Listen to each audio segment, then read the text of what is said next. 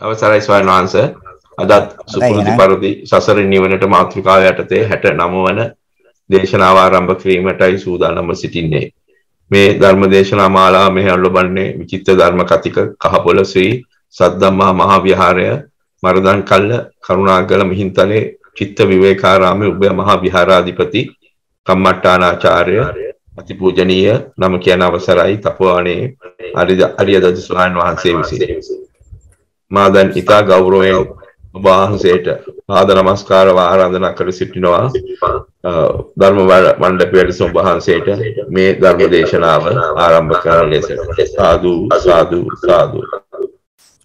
සමන්ත චක්කවාලේසු අත්‍රා ගච්ඡන්තු දේවතා සද්ධම්මං මුනි රාජස්ස සුනන්තු සග්ග මොක්කදං ධම්මස්සවන කාලෝ අයං බදන්තා ධම්මස්සවන කාලෝ අයං බදන්තා ධම්මස්සවන කාලෝ අයං බදන්තා සාදු සාදු සාදු. නමෝ තස්ස භගවතු අරහතෝ සම්මා සම්බුද්දස්ස. නමෝ තස්ස භගවතු අරහතෝ සම්මා සම්බුද්දස්ස. නමෝ තස්ස භගවතු අරහතෝ සම්මා සම්බුද්දස්ස. සාදු සාදු සාදු. සද්ධා බුද්ධ සම්පන්න කාරුණික පින්වත්නි. සෝම් තාක්ෂණයේ ඔස්සේ සෑම සෙනසුරාදා දිනකම ලංකාවේ වේලාවෙන් සවස් දෙකටත් ඕස්ට්‍රේලියාවේ මෙල්බන් වේලාවෙන් රාත්‍රී 7:30ටත් ලෝකයේ පුරා විසිරවා හරින සසරින් නිවනට කියන ධර්ම දේශනා මාලාව අතරින් 69 වෙනි ධර්ම දේශනාව ශ්‍රවණය කරන්නට පින්වත් සියලු දෙනාම සූදානම් වෙන්නේ. ඒ සඳහා මාතෘකාවක් වශයෙන් ලැබුණේ අවිච්ඡා සූත්‍රය පිළිබඳව දේශනාවක් සිදු කරන හැටියට. මේ සූත්‍රය ඇතුළත් වෙන්නේ සංයුත්ත නිකායේ ගිලාන වර්ගයේ 6 වෙනි සූත්‍රය හැටියට. මේ සූත්‍රය සංවාදයක් ඒ භික්ෂුන් වහන්සේ නමක් ආ භාග්‍යවතුන් වහන්සේ බුදුරජාන් වහන්සේ අතර ඇති වෙච්ච සංවාදයක් තමයි මේ අවිච්ඡා සූත්‍රය තුළ තියෙන්නේ. අපිට අවිද්‍යාව කියන එක ගත්තොත් තාම පුළුල් ගැඹුරුයි තාම විසිතුරුයි මේ අවිද්‍යාව කියන්නේ. ඒක විස්තර කරන තැනදී ඉතින් අවිච්ඡා සූත්‍රයේ දා භික්ෂුන් වහන්සේ බුදුරජාණන් වහන්සේගෙන් අහනවා ස්වාමීනි භාග්‍යවතුන් වහන්සේ යම් ධර්මයක් නැසීමෙන් යම් ධර්මයක් නැසීමෙන් අවිද්‍යාව දුරු වෙනවා නම් විද්‍යාව උපදිනවා නම් එවැනි එක ධර්මයක් තියෙනවද? භික්ෂුණා බුදුරජාණන් වහන්සේ උත්තර දෙනවා භික්ෂුණා යම් ධර්මයක් නැසීමෙන් අවිද්‍යාව දුරු වෙනවා නම් විද්‍යාව උපදිනවා නම් එවැනි එක ධර්මතාවයක් තියෙනවා. අයි ඒ භික්ෂුණ මහනවා යාම්දුර අහනවා ස්වාමීන් භාග්‍යවතුන් වහන්සේ දැන් යම් ධර්මයක් නැසීමෙන් අවිද්‍යාව දුරු වෙනවා නම් විද්‍යාව උපදිනවා නම් ඒකම ධර්මය මොකද්ද? ඒකම ධර්මය මොකද්ද? අය බුදුරජාණන් වහන්සේ දේශනා කරන භික්ෂුණා යම් ධර්මයක් නැසීමෙන් අවිද්‍යාව දුරු වෙනවා නම් විද්‍යාව උපදිනවා නම් ඒ එකම ධර්මය තමයි අවිද්‍යාව. දැන් මේක බුද්ධිමය ප්‍රශ්නයක්. දෙක නැවත කියන්න නැත්නම් ඒක තේරුම් ගන්න අමාරුයි. හාමුදුරුව අහනවා බුදුරජාණන් වහන්සේගෙන් ස්වාමීනි භාග්‍යතුන් වහන්සේ යම් ධර්මයක් නැසීමෙන් අවිද්‍යාව දුරු වෙනවා නම් විද්‍යාව උපදිනවා නම් එවැනි ධර්මයක් තියනවද බුදුරජාණන් වහන්සේ දේශනා කරන භික්ෂු නම යම් ධර්මයක් නැසීමෙන් අවිද්‍යාව දුරු වෙනවා නම් විද්‍යාව උපදිනවා නම් ඒකම ධර්මතාවයක් තියෙනවා. දැන් ආයි අහමුදුරහන ස්වාමීන් භාග්‍යතුන් වහන්සේ. එහෙනම් යම් ධර්මයක් නැසීමෙන් අවිද්‍යාව දුරු වෙනවා නම් විද්‍යාව උපදිනවා නම් ඒකම ධර්මතාවය මොකද්ද? ආයි බුදුරජාණන් වහන්සේ උත්තර දෙන භික්ෂුණා යම් ධර්මයක් නැසීමෙන් අවිද්‍යාව දුරු වෙනවා නම් විද්‍යාව උපදිනවා නම් ඒ එකම ධර්මය තමයි අවිද්‍යාව. දැන් ඒතර අවිද්‍යාව නැසීමෙන් අවිද්‍යාව දුරු වෙනවද? දුරු වෙනවනේ. විද්‍යාව ආ එහෙනම් එකම ධර්මතාවය එක තමයි. බුද්ධිමය ප්‍රශ්නයක් නේ. ඇහුවේ. තර බුදුරජාණන් උත්තර දුන්නෙත් එහෙම තමයි. දෙකම ධර්මයක් තියෙනවා. මොකටද? අවිද්‍යාව දුරු කරලා විද්‍යාව උපදවා ගන්න. එක ධර්මයක් එකම ධර්මයක් තියෙනවා. තර ආයි හාමුදුරහන සර්වභාවිතුනහස. එහෙනම් යම් ධර්මයක් නැසීමෙන් අවිද්‍යාව දුරු වෙලා විද්‍යාව උපදිනවා නම් ඒකම ධර්මතාවය මොකක්ද? වික්ෂණා යම් ධර්මතාවයක් නැසීමෙන් අවිද්‍යාව දුරු වෙනවා නම් විද්‍යාව උපදිනවා නම් එකම ධර්මය එකම ධර්මතාවය තමයි විද්‍යාව. දැන් අවිද්‍යාව විනාශ කළොත් ඉතින් අවිද්‍යාව දුර වෙලා ඉවරනේ. ඒතර විද්‍යාව උපදෙලා ඉවරනේ. නැද්ද? හ්ම්. දැන් ආයෙ අහනවා ඊට පස්සේ. හොඳයි ස්වාමී භාග්‍යතුන් වහන්සේ. ඒ යම් ධර්මයක් මොන විදිහට දැනගත්තොත් මොන විදිහට දැකගත්තොත්ද අවිද්‍යාව දුර වෙන්නේ. ඒක දැනගන්න එපේ මොකද්ද කියලා. යම් ධර්මතාවයක් තියෙනවා කිව්වනේ. අවිද්‍යාව දුරු කරන්නත් විද්‍යාව උපදවන්නත් යම් ධර්මතාවයක් තියෙනවා. ඒකම ධර්මතාවය තමයි අවිද්‍යාව. එහෙනම් ඒ අවිද්‍යාව දුරු කරගන්න මොන විදිහට දැනගන්න ඕනේද මොන විදිහට දැක ගන්න ඕනේද මොන විදිහට දැනගෙන මොන විදිහට දැකගත්තොත්ද අවිද්‍යාව දුර වෙලා විද්‍යාව උපදින්නේ. අන්න බුදුරජාණන් වහන්සේ දේශනා කරන භික්ෂු නම. ඇස අනිත්‍ය වශයෙන් දකිනවන බාහිර රූප අනිත්‍ය වශයෙන් දකිනවන ඒ දෙක නිසා උපදින සිත අනිත්‍ය වශයෙන් දකිනවන ඒ කර්ණ තුන එකතු කරන ස්පර්ශය අනිත්‍ය වශයෙන් දකිනවා නම් ඒ ස්පර්ශය නිසා විඳින වේදනාව සොම්නස් සතුටුයි දුම්නස් අකමැති උපේක්ෂා මෙදහත්. මේ වේදනාවල අනිත්‍ය වශයෙන් දකිනවනම් දුක් වශයෙන් දකිනවනම් ඒතර අනිත්‍ය නම් අනිවාර්යයෙන්ම දුකයි කියන එක දකින්න ඕනේ. තර අනාත්ම වශයෙන් දකින්නවනේ. තර දකින්න මෙතන කියන්නේ. තර අර වික්ෂුණම අහන්නේ, හාමුදුරුවෝ අහන්නේ ස්වාමීන් භාග්‍යතුන් වහන්සේ මොන විදිහට දැනගත්තොත් ඒ ඒ එකම ධර්මතාවය එතන නසන්න ඕනේ මොන විදිහට දැනගත්තොත් මොන විදිහට දැකගත්තොත්ද අවිද්‍යාව දුරු වෙලා විද්‍යාව උපදී. ඊට බුදුරජාණන් වහන්සේ දේශනා කරන භික්ෂුණම එහෙනම් ඇස අනිත්‍ය වශයෙන් දකින්න ඕනේ. දැන් ඇස අනිත්‍ය වශයෙන් දකින්න ඕන කියලා බුදුරජාණන් වහන්සේ කතා කළේ මේ විවාහාරයට සම්මුතිය ඕන නිසා. වචන එහාට මෙහාට කරන්න වචන පරිහරණය කරන්න සම්මුතිය ඕනේ. සම්මුතිය නැතුව මේ වචන එහාට මෙහාට කරන්න බෑ.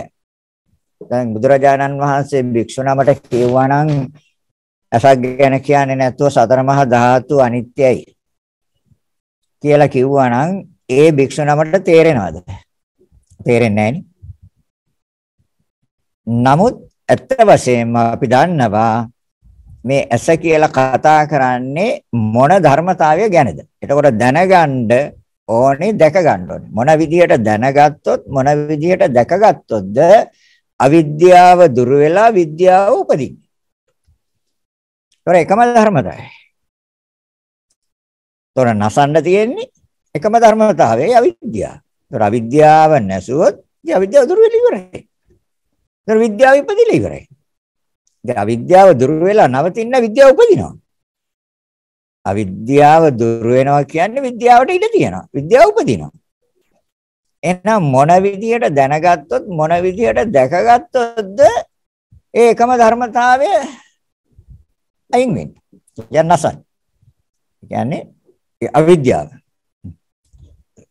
එහෙනම් අද එතෙන්දී බුදුරජාණන් වහන්සේ දේශනා කරන මේ සතර මහා ධාතු අනිත්‍යයි කියලා මෙනෙහි කරන්න දැනගන්න හොත් දැක ගන්න කිව්වේ නැහැ.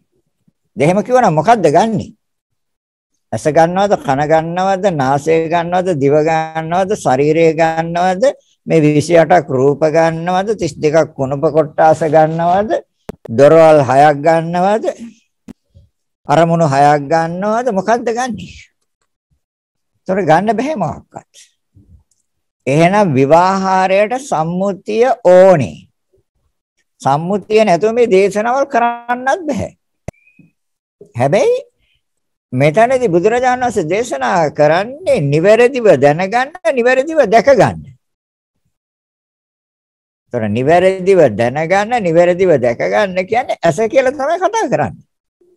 නමුත් පැහැදිලිවම දේශනා කරා මහණෙනි එතකොට නිස්සත්ත නිජීව දරන සත්‍යයක් නැහැ. ජීවෙක් නැහැ. නාම රූප දෙකක් තියෙනවා. සබ්බසෝ නාම රූපස්මි. මහණෙනි මම මේ සියල්ල මේ නාම රූප දෙක තුල පනවනවා. ତොර මේ ලෝකයේ තියෙන යම් දෙයක් ඇද්ද? ඒ සෑම දෙයක්ම මම මේ ධර්මතා දෙක තුලට ඇතුළත් කරනවා. ඒ ධර්මතා දෙක තමයි නාමංච රූපංච. ඒතර අපි විසඳ ගන්න ඕනේ මේ නාම රූප දෙකෙන්. මොකද වෙන දෙයක් ගැන හොයලා වැඩක් වෙන්නේ නැහැ. එහෙනම් ඇසයිටි අපි හොයන්න ඕනේ නාමයටද රූපයටද? ඇසයිටි රූපයට. ඒතර රූපය කියන එකේ අර්ථය ගන්න ඕනේ. මොකද්ද මේ රූප කියන්නේ? රූප කියන වචනේ තේරුමම තමයි රුප්පණේ හේවත් වෙනස් වීම කියන එක. එතකොට වෙනස් ඒත රූප කියන වචනේ තේරුම රුප්පණේවත් වෙනස් වීම නම් එතන තියෙන්නේ අනිත්‍යයි. එතකොට රූප කියලා කතා කරන්නේ සතර මහා ධාතුන්ට. එතකොට ඇස කියන සම්මුති නාමය අයින් කරන්න ඕනේ. මේක අයින් නොකර කවදාවත් මේ අනිත්‍ය වැටහෙන්නේ දුක්ඛ ලක්ෂණය ප්‍රකට වෙන්නේ නැහැ. අනාත්ම ලක්ෂණය ප්‍රකට වෙන්නේ නැහැ. සම්මුතිය තුළ මොනතරම් විභාග කළත් මොනතරම් පරීක්ෂා කළත් මොන ආකාරයට බැලුවත් අයින් වෙන්නේ එහෙනම් එතකොට අපි දන්නවා දැන් එතකොට ඇස කියනකොටම මොකද්ද කියන එක අපි දැන් දන්නවා. ඒක පැහැදිලි. නිරවුල්. ඇස කියන්නේ එතකොට රූපයක්. එතකොට මේ නාම රූප දෙක තුලේ අපි මේ විසඳගන්න. එතකොට ඇස රූප නාමයට දාන්න බෑ. නාමය කියන්නේ සිත හා සිතුවිලි.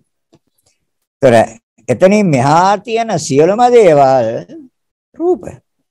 රූප කියන්නේ රුප්පණේවත් වෙනස් වෙනවා. දැන් වෙනස් වෙන්නේ රූපයද සතර මහා ධාතුන්ගේ ක්‍රියාවද? අන්න එතනට මනස ගන්න ඕනේ. එතකොට අනිත්‍ය පිළිබඳව නිවැරදිව දැනගන්නවා නිවැරදිව දැක ගන්න. එකයි අපි කියන්නේ චක්කුම් අනිච්චා. සෝතං අනිච්චා. ගාන අනිච්චා. ජීවා අනිච්චා. කායෝ අනිච්චා. ඒතර මේ ආදි වශයෙන් අනිත්‍ය කිව්වට හරි ඒසත් අනිත්‍ය තමයි. නෑ. ඒතර එතන දුක්ඛ ලක්ෂණය හා අනාත්ම ලක්ෂණය නිවැරදිව ප්‍රකට වෙන්නේ නැහැ. දැස අනිත්‍යයි කියලා කොච්චර කිව්වත් අපිට එතන දුක්ඛ ලක්ෂණය ප්‍රකට වෙනවද? නැහැ. අනාත්ම ලක්ෂණය ප්‍රකට වෙනවද? නැහැ. ඔය අනිත්‍යයි කිය කී හිටියේ. දුකයි කිය කී හිටියේ. අනාත්මයි කිය කී හිටියේ. ඒ වචන තුන සිතේ පළපදියම් වෙයි. මොකද්ද? අනිත්‍ය දුක අනාත්මයි. නේ. දැන් මෙතනදී හාමුදුරට කියනවා බුදුරජාණන් වහන්සේ. මහණෙනි මේ විදියට දැනගන්න මේ විදියට දැක ගන්න. ඒතර හාමුදුරුවෝ අහනවනේ මොන විදියට දැනගත්තොත් මොන විදියට දැකගත්තොත්ද මේ එකම ධර්මතාවය අයින් වෙන්නේ. ඒ කියන්නේ අවිද්‍යාව අයින් වෙන්නේ. ඒතර බුදුරජාණන් වහන්සේ දේශනා කරන්නේ එතකොට ගන්නෙ අර විවාහාරයේදී ඒ වචනේ ගන්නවා. මොකද්ද? ඇස. එතකොට දැන් බුදුරජාණන් වහන්සේ පැහැදිලිවම දේශනා කරා මහණෙනි නාම රූප දෙකයි තියෙන්නේ. මේ ඕනම ධර්මතාව මේ විශ්වයේ ක්‍රියාත්මක වෙන ඕනම ධර්මතාවයක් ගත්තොත් මේ ධර්මතා දෙක තුළට ඇතුල් කරන්න පුළුවන්. හොඳට බලන්න. හොඳට හොයන්න. තවත් ධර්මතාවයකට ඇතුල් කරන්න බෑ. නාමච්ච රූපංච කොසිතහ සිතුවිලි වලට ඇතුල් කරන්න වෙනවා. එහෙම නැත්නම් රූපයට ඇතුල්. එතකොට රූපය කියන වචනේ තේරුම අපි නිවැරදිව දැනගන්න ඕනේ, දැක ගන්න ඕනේ. රූප කියන්නේ සතර මහා ධාතුන්. රුප්පණේවත් වෙනස් වෙනවා. ඒ තමයි අර්ථය. රූප කියන්නේ සතර. ඒතකොට ඒක අභිධර්මයෙන්ුත් පැහැදිලි කළා මහා භූත හතර නිසා පවතිනා වූ උපාදාය රූප 24යි. ඊට වඩා නැහැ. ඒතර මහා භූත හතර නිසා පවතිනා වූ උපාදාය රූප 24 නම් ඇස ඇතුළත් වෙන්නේ මොකේද? ඇස ඇතුළත් කරන්න තියෙන්නේ මහා භූත හතරටනේ. එයි මහා භූත හතර නිසා පවතිනා උපාදාය රූප 24යි කියන්නේ. එහෙනම් ඇස අතුල් කරන්න වෙන්නේ මහ භූත හතරට. එන ඇස කියන ওই මෙතෙක් කාල සිතේ පළපදියම් වෙලා තියෙන සිත දැහැගෙන තියෙන සිතම ඒ ආකාරයෙන්ම පෙන්නන ඇස කියන එක අයින් කරන්න. නැතු මේක දැක ගන්න බෑ. දකින්න බෑ. ඔය කියෝ කියෝ හිටියේ. මේක දර්ශනයක්. දර්ශනයක් කියන්නේ දකින්නවා. ඒතර මේක දකින්න තියෙන්නේ. ඒතර ඇස කියන එකත් අපි දකිනවා. ඇසෙන්ම දකින්න ඇසක්. නමුත් ඒක නිවැරදි දැක්ම නෙමෙයි. මනසින් දකින්න ඕනේ එතකොට එහෙනම් නාමංච රූපංච කිව්වහම රූපය කියන වචනේ අර්ථය රුප්පණේවත් වෙනස් වීම කියන්නේ සතර මහා ධාතුන්ගේ තියෙන. ඇසේ වෙනස් වීමක් නැහැ. අනිත් එක තමයි මහ භූත හතර නිසා පවතින උපාදාය රූප 24. ତර මහ භූත හතර නිසා පවතින උපාදාය රූප 24යි නම් එහෙනම් ඇස මොකේටද අයිති? ඇසයිති මහ භූත හතරට. ආයේක කිසිම ගැටලුවක් නැහැ. එහෙනම් ආයි අපි ඇස ගැන නිවැරදිව දැනගන්නවා නම් නිවැරදිව දැක ගන්නවා නම් අපි මහ භූත හතරයි දකින්න ඕනේ. ඒකයි දැනගන්න ඕනේ ඒකයි දැක ගන්න ඕනේ. එතකොට ආයි ඇසක් දකින්න බෑ. ඇසක් ආයි දර්ශනය වෙන්නේ නැහැ. ඒ කියන්නේ මනසට ඇසක් දර්ශනය වෙන්නේ ඇහැට ඇහැක් දර්ශනය වෙයි. මනසට ඇහැක් දර්ශනය වෙන්නේ නැහැ. මනසට දර්ශනය වෙන්නේ මහ භූත හතර. එතකොට අනිත්‍යතාවය තියෙන්නේ ඇසේ නෙමෙයි. මහ භූත හතර අඳුන අඳුන ගන්න දීපු වචනයක් තමයි ඇස කියන්නේ. මොකද දැන් කියන්නේ නාමංච රූපංච සිතහා සිතවිලිය අනිකුත් සියලුම දේවල් රූප ඒ කියන්නේ සතර මහා ධාතු මහ භූත හතරයි එහෙනම් කිසිම ගැටලුවක් නැහැ ඇස කියන්නේ මහ භූත හතරට. සත්‍යත් ඒකම තමයි. භූත හතරගේ ක්‍රියාවලියක් තියෙන්නේ. සතර මහා ධාතුන්ගේ ක්‍රියාවලිය. එතකොට අනිත්‍ය මේකේ දකින්නේ කොහොමද? පටවි ධාතු ඉපද බින්දිනවා ඉතින් ඒකේ තමයි ඒකේ ආයුෂ පෙන්නේ බුදුරජාණන් වහන්සේ. මේ සතර මහා ධාතුන්ට ආයුෂ මෙච්චරයි. ඒතර අපි ආයුෂ අපේ සිතට අනුගත කරන්න ඕනේ. මේකට ආයුෂ තියෙන්නේ මෙච්චරයි. එතකොට ආයුෂ අපේ සිතට අනුගත කරාම මහ භූත හතරේ ආයුෂ සිතට අනුගත කරලා බලන්න අනිත්‍ය දර්ශනය වෙන්නේ නැද්ද කියලා. අනිත්‍ය දර්ශනය වෙනවා. ආයුෂ සිතට අනුගත කරන්න. ආයුෂ කොච්චර? චිත්තක්ෂණ 17යි. ඔර චිත්තක්ෂණ 1000 කියන්නේ කොච්චරද? අතිශය කෙටි කාලයක්. චිත්තක්ෂණ 17යි කියන්නේ. තත්පරයක් ලක්ෂයකට බෙදුවත් ඊටත් වඩා අඩුයි. එතකොට අපට දර්ශනය වෙන්නේ එතනයි. නිවැරදිව. එතකොට නිවැරදිව දැනගත්ත විතර නෙවෙයි නිවැරදිව දැක්කා වෙනවා. ඒතර අපිට ඇසක් දකින්න බෑ එතනදී. ඒ කියන්නේ මනසට දකින්න බෑ ඇසක්. ඒතර මනසට දකින්න තියෙන්නේ මහ භූත හතරේ අනිත්‍යතාවය. එයි පඨවි ධාතු ඉපද බිඳිනවනේ. ආපෝ ධාතු ඉපද බිඳිනවනේ. තේජෝ ධාතු ඉපද බිඳිනවනේ. වායෝ ධාතු ඉපද බිඳිනවා. අර තව පැත්තකින් බුදුරජාණන් වහන්සේ දේශනා කරනවා. එතකොට ඇස කියන්නේ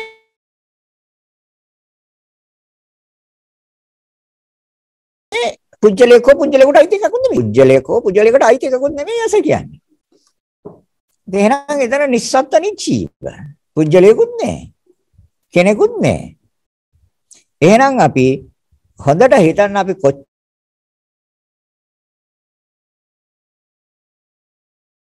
බණ ඇහුවත් කොච්චර ධර්මයේ ශ්‍රවණ දැනගෙන හා නිවැරදිව දැකගෙන තියනවද? එහෙනම් අපි දෙකම ධර්මතාවයක් එතකොට නැසුවොත් අවිද්‍යාව දුර වෙනවා. විද්‍යාව උපදිනවා.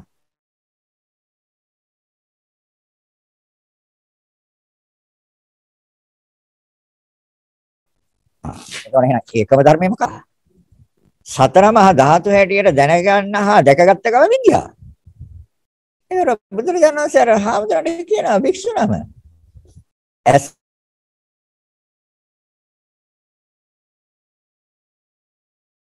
අනිත්‍යයි කියලා දැනගන්න. එහෙම කතා කළේ එහෙම කතා නොකර සතර මහා ධාතු අනිත්‍යයි කිව්වා නම් හාමුදුරුවෝ හොයනද සතර මහා ධාතු මොකද්ද? ආ ඒතර මුළු ඔක්කොම ගන්න එපේ.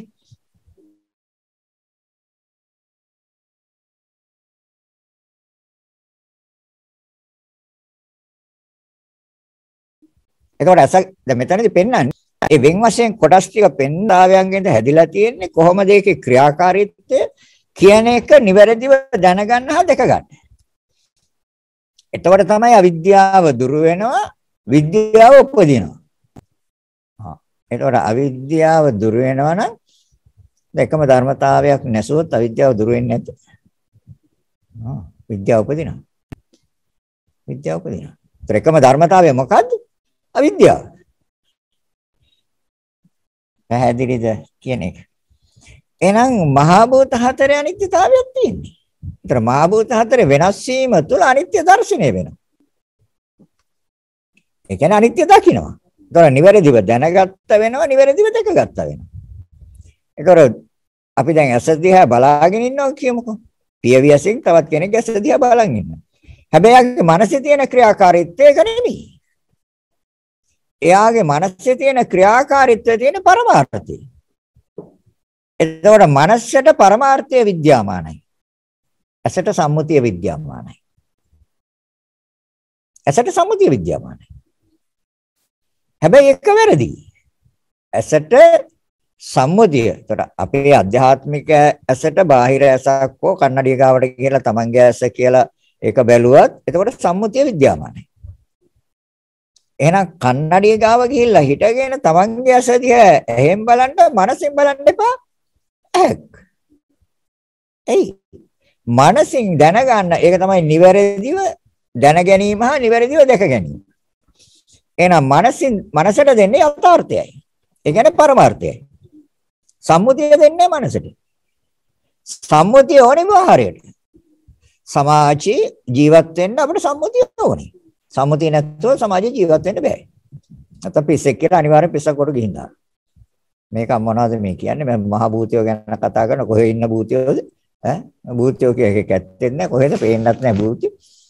ඒ මේවා තේරෙන්නේ නැති මේවා දන්නේ නැති මේවා වැටහෙන්නේ නැති අයට ඒ ආකාරයෙන් කතා කරන්න ගියොත් ඒක මහ විකාරයක්. කොහෙද ඉන්නේ භූතයෝ කියලායි. කො භූතය අපි භාෂාවේ භූතේ බලන්න පෙන්නන්නකො භූතය. ඉතින් පෙන්නන්න පුළුවන්ද භූතය? ආ දැන් සතර මහා ධාතු පෙන්වන්න පුළුවන්. මේ එහෙනම් ඇස හැදිලා තියෙන ධර්මතාවය මොනවද කියලා අපි හොයන්න ඕනේ. ඒ හොයන්නේ බුද්ධියෙන්. නුවණින් හොයන්නේ. ඒ නුවණින් හොයන එකට කිව්වේ විදර්ශනා ප්‍රඥාව. ඒ නුවණින් නිවැරදිව දකින්න එකට කිව්ව විදර්ශනාව. නිවැරදිව දකිනවා නම් ඒක විදර්ශනාවයි. ඒතර විශේෂ දර්ශනයක් එතන තියෙනවා. ඒකයි විදර්ශනා කියන්නේ. ඒතර ප්‍රඥාව කියන්නේ අවබෝධයයි. ඒතර නිවැරදිව දැකලා අවබෝධ කරගත්තා. ආ හරි ඇසක් නැහැ ඇසක් තියනවා කියලා ගන්න තාක්කල් අනිත්‍ය හෝ දුක්ඛ හෝ අනාත්ම කියන ඔය ලක්ෂණ තුනේ එකක්වත් දැర్శණය වෙන්නේ වෙන්නේ කවදාවත් වෙන්නේ ඒ ලක්ෂණ තුන නිවැරදිව ඒ ලක්ෂණ තුන නිවැරදිව දැනගෙන නිවැරදිව දැක ගන්න තාක්කල් ධර්මය අවබෝධ කරන්නේ නිවැරදිව. ඒතකොට මෙතනදී හාමුදුරන්ට කියනවා. ඒතර හාමුදුරුව අහනවා ස්වාමිනී භාග්‍යවතුන් වහන්සේ මොන විදිහට දැනගත්තොත් මොන විදිහට දැකගත්තොත්ද අවිද්‍යාව දුර වෙලා විද්‍යාව උපදින්නේ. දැන් එතකොට බුදුරජාණන් වහන්සේ එතනදී දේශනා කරන්නේ සම්මුතියෙන්. හැබැයි සම්මුතියෙන් දේශනා කළාට අනිත්‍ය තියෙන්නේ ඇසේ නෙමෙයි අනිත්‍ය තියෙන්නේ පරමාර්ථයේ. ඒ කියන්නේ මහ භූත හතරේ අනිත්‍ය තියෙන්නේ. ඇයි මහ භූත හතරේ අනිත්‍ය තියෙන්නේ? කියන්නේ මහ භූත හතර ඇතිව නැති වෙනවා. ඉපද බිඳිනවා. හට ගන්නවා අතුරු දහන. අන්න ඒක මනසට අනුගත වුණාම එතකොට නিত্য සංඥාවද තියෙන අනිත්‍ය සංඥාවද? නিত্য සංඥාව දුරු වෙනතුරු අනිත්‍ය සංඥාව වඩන්න කිව්ව එකයි. නিত্য සංඥාව සිතෙන් දුරු වෙනකම්. එතකොට නিত্য සංඥාව සිතෙන් දුරු වෙනවා කියන්නේ අවිද්‍යාව දුරු වෙනවා. විද්‍යාව උපදිනවා. ඒ කියන්නේ නිවැරදිව දැනගන්නව නිවැරදිව දැක ගන්න. එතකොට හොඳට බලන්න ඒ මහ භූත හතරේ ඒ නිවැරදි ක්‍රියාව සිතට අනුගත වුණාම ඇස ගැන ලෝභය මොකද වෙන්නේ කියලා. ඇස ගැන තියෙන ආසාව. ඒක දන්නවා මේ ඇසට මෙච්චර කල් ආසා කර මේ ඇහක් නෑ නෙමෙයි. මේ ඇසක් නෑ නෙමෙයි මේක මේ භූත හතර දෙනෙක්ගේ ක්‍රියාවක් නේ තියෙන්නේ. එතකොට එයාගේ ලෝභය දුර වෙන්නේ නැද්ද? දුර වෙනවා. එහෙනම් එතනින් පටන් ගන්න ඕනේ අපි. ලෝභය දුරු කරන්න තැනින් පටන් ගන්න ඕනේ. දේශය දුර වෙන තැනින් පටන් ගන්න ඕනේ. මෝහය දුර වෙන තැනින් පටන් ගන්න ඕනේ. ලෝභයයි දේශයයි මෝහයයි. උඩ පැහැදිලිවම දේශනා කළ රාගයේ අවසානයේ නිවන කියන එක.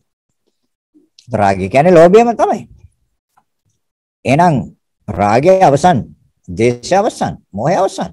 ඒ ඒ ආකාරයට අපි ආරම්භ කරන්න ඕනේ, පටන් ගන්න ඕනේ. කවදා හරි කරන්න වෙනවා මේක. වර්තමාන භවයේ බෑ කියලා හිතෙනවා නම් අපි අනාගත භවයකට මේක ආහ මං අනාගත භවයට තව එහෙම නැත්නම් තව ටික දවසකින් එහෙම නැත්නම් ලබන මාසේ විතරයි මේ කරදර ටික ඉවර කරගෙන මම මේකට බහින්න ඕනේ. කවදාවත් කරන්න බෑ. බුදුරජාණන් වහන්සේ දේශනා කළේ දැන් දැන් මේ මොහොතේ මේ මොහොතේ මේ මොහොතේ දකින්න. ඒතර බුදුරජාණන් වහන්සේ පෙන්වන්නේ තථාගත ධහම කියන්නේ ඒතකොට වර්තමානයේ මේ මොහොතේ සිදුවෙන නිවැරදි ක්‍රියාව පෙන්වන්නේ.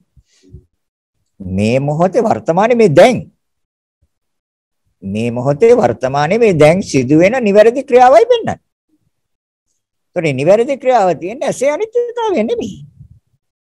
මහ භූත හතරේ ඉපද බිඳීමක් තියෙන්නේ.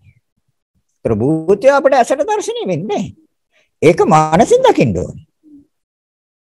අන්න එතකොට අපි දකිනවා අනිත්‍යතාවය. නිවැරදි අනිත්‍යතාවය දකින්නේ. එතකොට බලන්න බෑ ඇද්දිය. ඇද්දිය කොහොමද බලන්නේ? බෑ. ඒ කියන්නේ මේ මනසින් මනසින් බලන්න බෑ. එහෙම බලයි. මනසින් බලන්න බෑ. ඇයි හැක් නැහැ. තියන්නේ ක්‍රියාව. ක්‍රියාව භූතයන්ගේ. ඉපද බින්දිනවා. ඇතිව නැති වෙනවා. එහෙනම් බාහිර රූප. ඒතර බාහිර රූප මොකද? දැන් අපි බාහිර රූප ඇසට පේන රූප අපි ඔක්කොම අරගෙන තියෙනවනේ සම්මුතියමනේ ගන්න. මේක හතරස් මේක රවුම් මේක දික් මේක පෙතලි මේක කෙටි මේක මේ මේ වර්ණ මේ මේ පාට වර්ග. එයාදී වශයෙන් දාලා නේද රූපය ගන්න. එතකොට දැන් රූපය කියන එක රූප 28ට බුදුරජාණන් වහන්සේ පෙන්නනවානේ කඩලා 28ක් රූප තියෙනවා කියලා. දැන් ඊට නෑනේ පේනවනේ 28යිනේ තියෙන්නේ. එතන මහ භූත හතර නිසා පවතින උපාදාය රූප 24යි. එහෙනම් බාහිර රූපය මහ භූත හතර නිසා පවතින දෙයක් නෙමෙයි. ගහක් ගන්නකො කොළයක් ගන්නකො. ගෙඩියක් ගන්නකො. ඕනේ දෙයක් ගන්න මුලක් ගන්න පොත්තක් ගන්න සිවියක් ගන්න එළයක් ගන්න අරටුවක් ගන්න මේ ඔක්කොම මොනවද පෙන්න දැන් දෙකට බෙදන්නේ දෙකයිනේ බුදුරජාණන් වහන්සේ දේශනා කරන්නේ දෙකයි තියෙන්නේ. මොනවාද? නාමංච රූපංච. නේතර බාහිර රූප දාන්න බෑනේ නාමයට. බෑ. නාමය කියන්නේ සිතහසිතුවිලි. ඒතර බාහිර රූප කියන එක අපිට පැහැදිලිව තියෙනවා මේ පේනවා. එතකොට දැන් මේක අපි කොහොමද ගන්නෙ? නිවැරදිව හාමුදුරුවෝ නිවැරදිව දැනගන්න කොහොමද නිවැරදිව දැනගන්නේ කොහොමද නිවැරදිව දැකගන්නේ? මේ අවිද්‍යාව දුරු වෙන ආකාරයට. ඒකට එහෙනම් බාහිර රූප අනිත්‍ය වශයෙන් දකින්න. අනිත්‍ය නම් දුකයිම තමයි. ආ ඒකේ කිසි ගැටලුවක් නැහැ. ඒක එහෙමමම තමයි දුක තියෙන්නේ අනිත්‍ය තුල. අනිත්‍ය නැත්තම් නিত্য නම් මේ ලෝකේ මොනියම් හෝ දෙයක් තියෙනවා නම් පවතින දෙයක් සදාකාලිකව හෝ යම් කාලයක් හෝ පවතින දෙයක් තියෙනවා නම් ඒක සපයි. නමුත් බුදුරජාණන් වහන්සේ පැහැදිලිවම දේශනා කළා බාහිර රූපයට ඒ ආශ්‍රයම තමයි තියෙන්නේ. ඇසේ ආශ්‍රයම තමයි ඒගොල්ලෝ ගන්නෙ. ඊට වඩා ආශ්‍රය රැඳෙන්න බෑ ඒගොල්ලන්ට. එහෙනම් බාහිර ඔය දකින්න ඇහැට පේන ඕන රූපයක් ගන්නකො. රූපේ කියන්නේ රුප්පනේ හේවත් වෙනස් වෙනවා. රූපේ කියන්නේ 28යි. එතකොට 28 මහ භූත හතර නිසා පවතින ආ 24යි. ඉතින් 28ම මහ භූතනේ. මහා භූත හතර නිසා පවතිනා වූ උපාදාය රූප 24 නම් 28ම මහා භූත තමයි. ආ. එහෙනම් එතකොට බාහිර රූපය කොහොමද සිතින් දැනගන්නේ දැකගන්නේ? එතකොට සිතින් දැන ගැනීම හා සිතින් දැක ගැනීම තමයි නිවැරදි දර්ශනය. ඒ තමයි නිවැරදි. එතකොට සිතින් දැනගන්න හා සිතින් දැක ගන්න තියෙන්නේ ඉපද බින්දෙන භූතයන්ගේ ක්‍රියාව පටවි ධාතු ඉපද බින්දෙනවා. ආපෝ ධාතු ඉපද බින්දෙනවා. තේජෝ ධාතු ඉපද බින්දෙනවා. වායෝ ධාතු ඉපද බින්දෙනවා. අන්න ඒක සිතට දෙන්නකෝ. සිතට අනුගත කරන්නකෝ. සිතට ඇතුල් කරන්නකෝ. දට ඇතුල් කරන්න. නিত্য සංඥාව අයින් වෙනතුරු අනිත්‍ය සංඥාව වඩන්න කිව්වේ ඒකයි. මනස රැඳෙන්නේ මේ කොච්චර බණ කිව්වත් කොච්චර බණ ඇහුවත් නැගිටින්නේ නිත්‍ය සංඥාවත් එක්ක. ඒක පුහුණු කළා නෑ. ඒක පුරුදු කළා නෑ. ඒක ප්‍රායෝගිකව වඩලා නෑ. ඒ බුදුරජාණන් වහන්සේ දේශනා කරන්නේ නෑ මේක අනුගත වෙනකම්. කියන්නේ නිත්‍ය සංඥාව අයින් වෙනතුරු අනිත්‍ය සංඥාව වඩන්න. ඒතර අනිත්‍ය සංඥාව වඩන්න නම් සම්මුතියෙන් ඈත් වෙන්න ඕනේ. එතකොට නිවැරදිව දැනගත්ත වෙනවා නිවැරදිව දැකගත්ත වෙනවා. ඒ නැති තාක්කල් නිවැරදිව දැන ගැනීමකුත් නැහැ නිවැරදිව දැක ගැනීමකුත් නැහැ.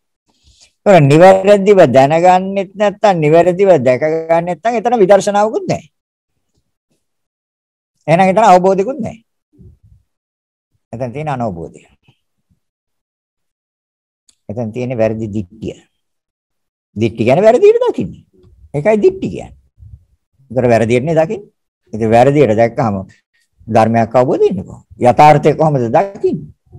පරම සත්‍ය කොහොමද දකින්නේ? ක්‍රියාව කොහොමද දකින්නේ? ක්‍රියාව මනසින් මනසට යහුවෙන්නේ. මනසින් දකින්නේ ක්‍රියාව. ඇහැට ක්‍රියාව පේන්නේ. පුටුවක් තියාගෙන පැලයක් හිටවල ඔක්කොලම වාඩි වෙලා ඉන්නකො දවස් සතියක් හරි වැඩෙනව පේනවද කියලා බලන්න. පේනවද? නේ. ඒ සතිය ගිහින් බලන්නකො මොකද වෙලා තියෙන්නේ. පැලේ වැඩිලා. දැන් එහෙනම් එතන ක්‍රියාවක් නේ තියෙන්නේ. එහෙනම් එතන මේ පැලේ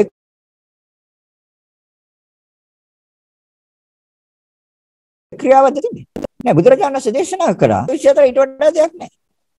එහෙනම් මේ පැලේ සතියක් ගිහිල්ලා දැක්කම ආ වැඩිලා මේක. එතකොට භූතයන්ගේ ක්‍රියාවක්ද තිබ්බේ? පැලේ ක්‍රියාවක්ද තිබ්බේ?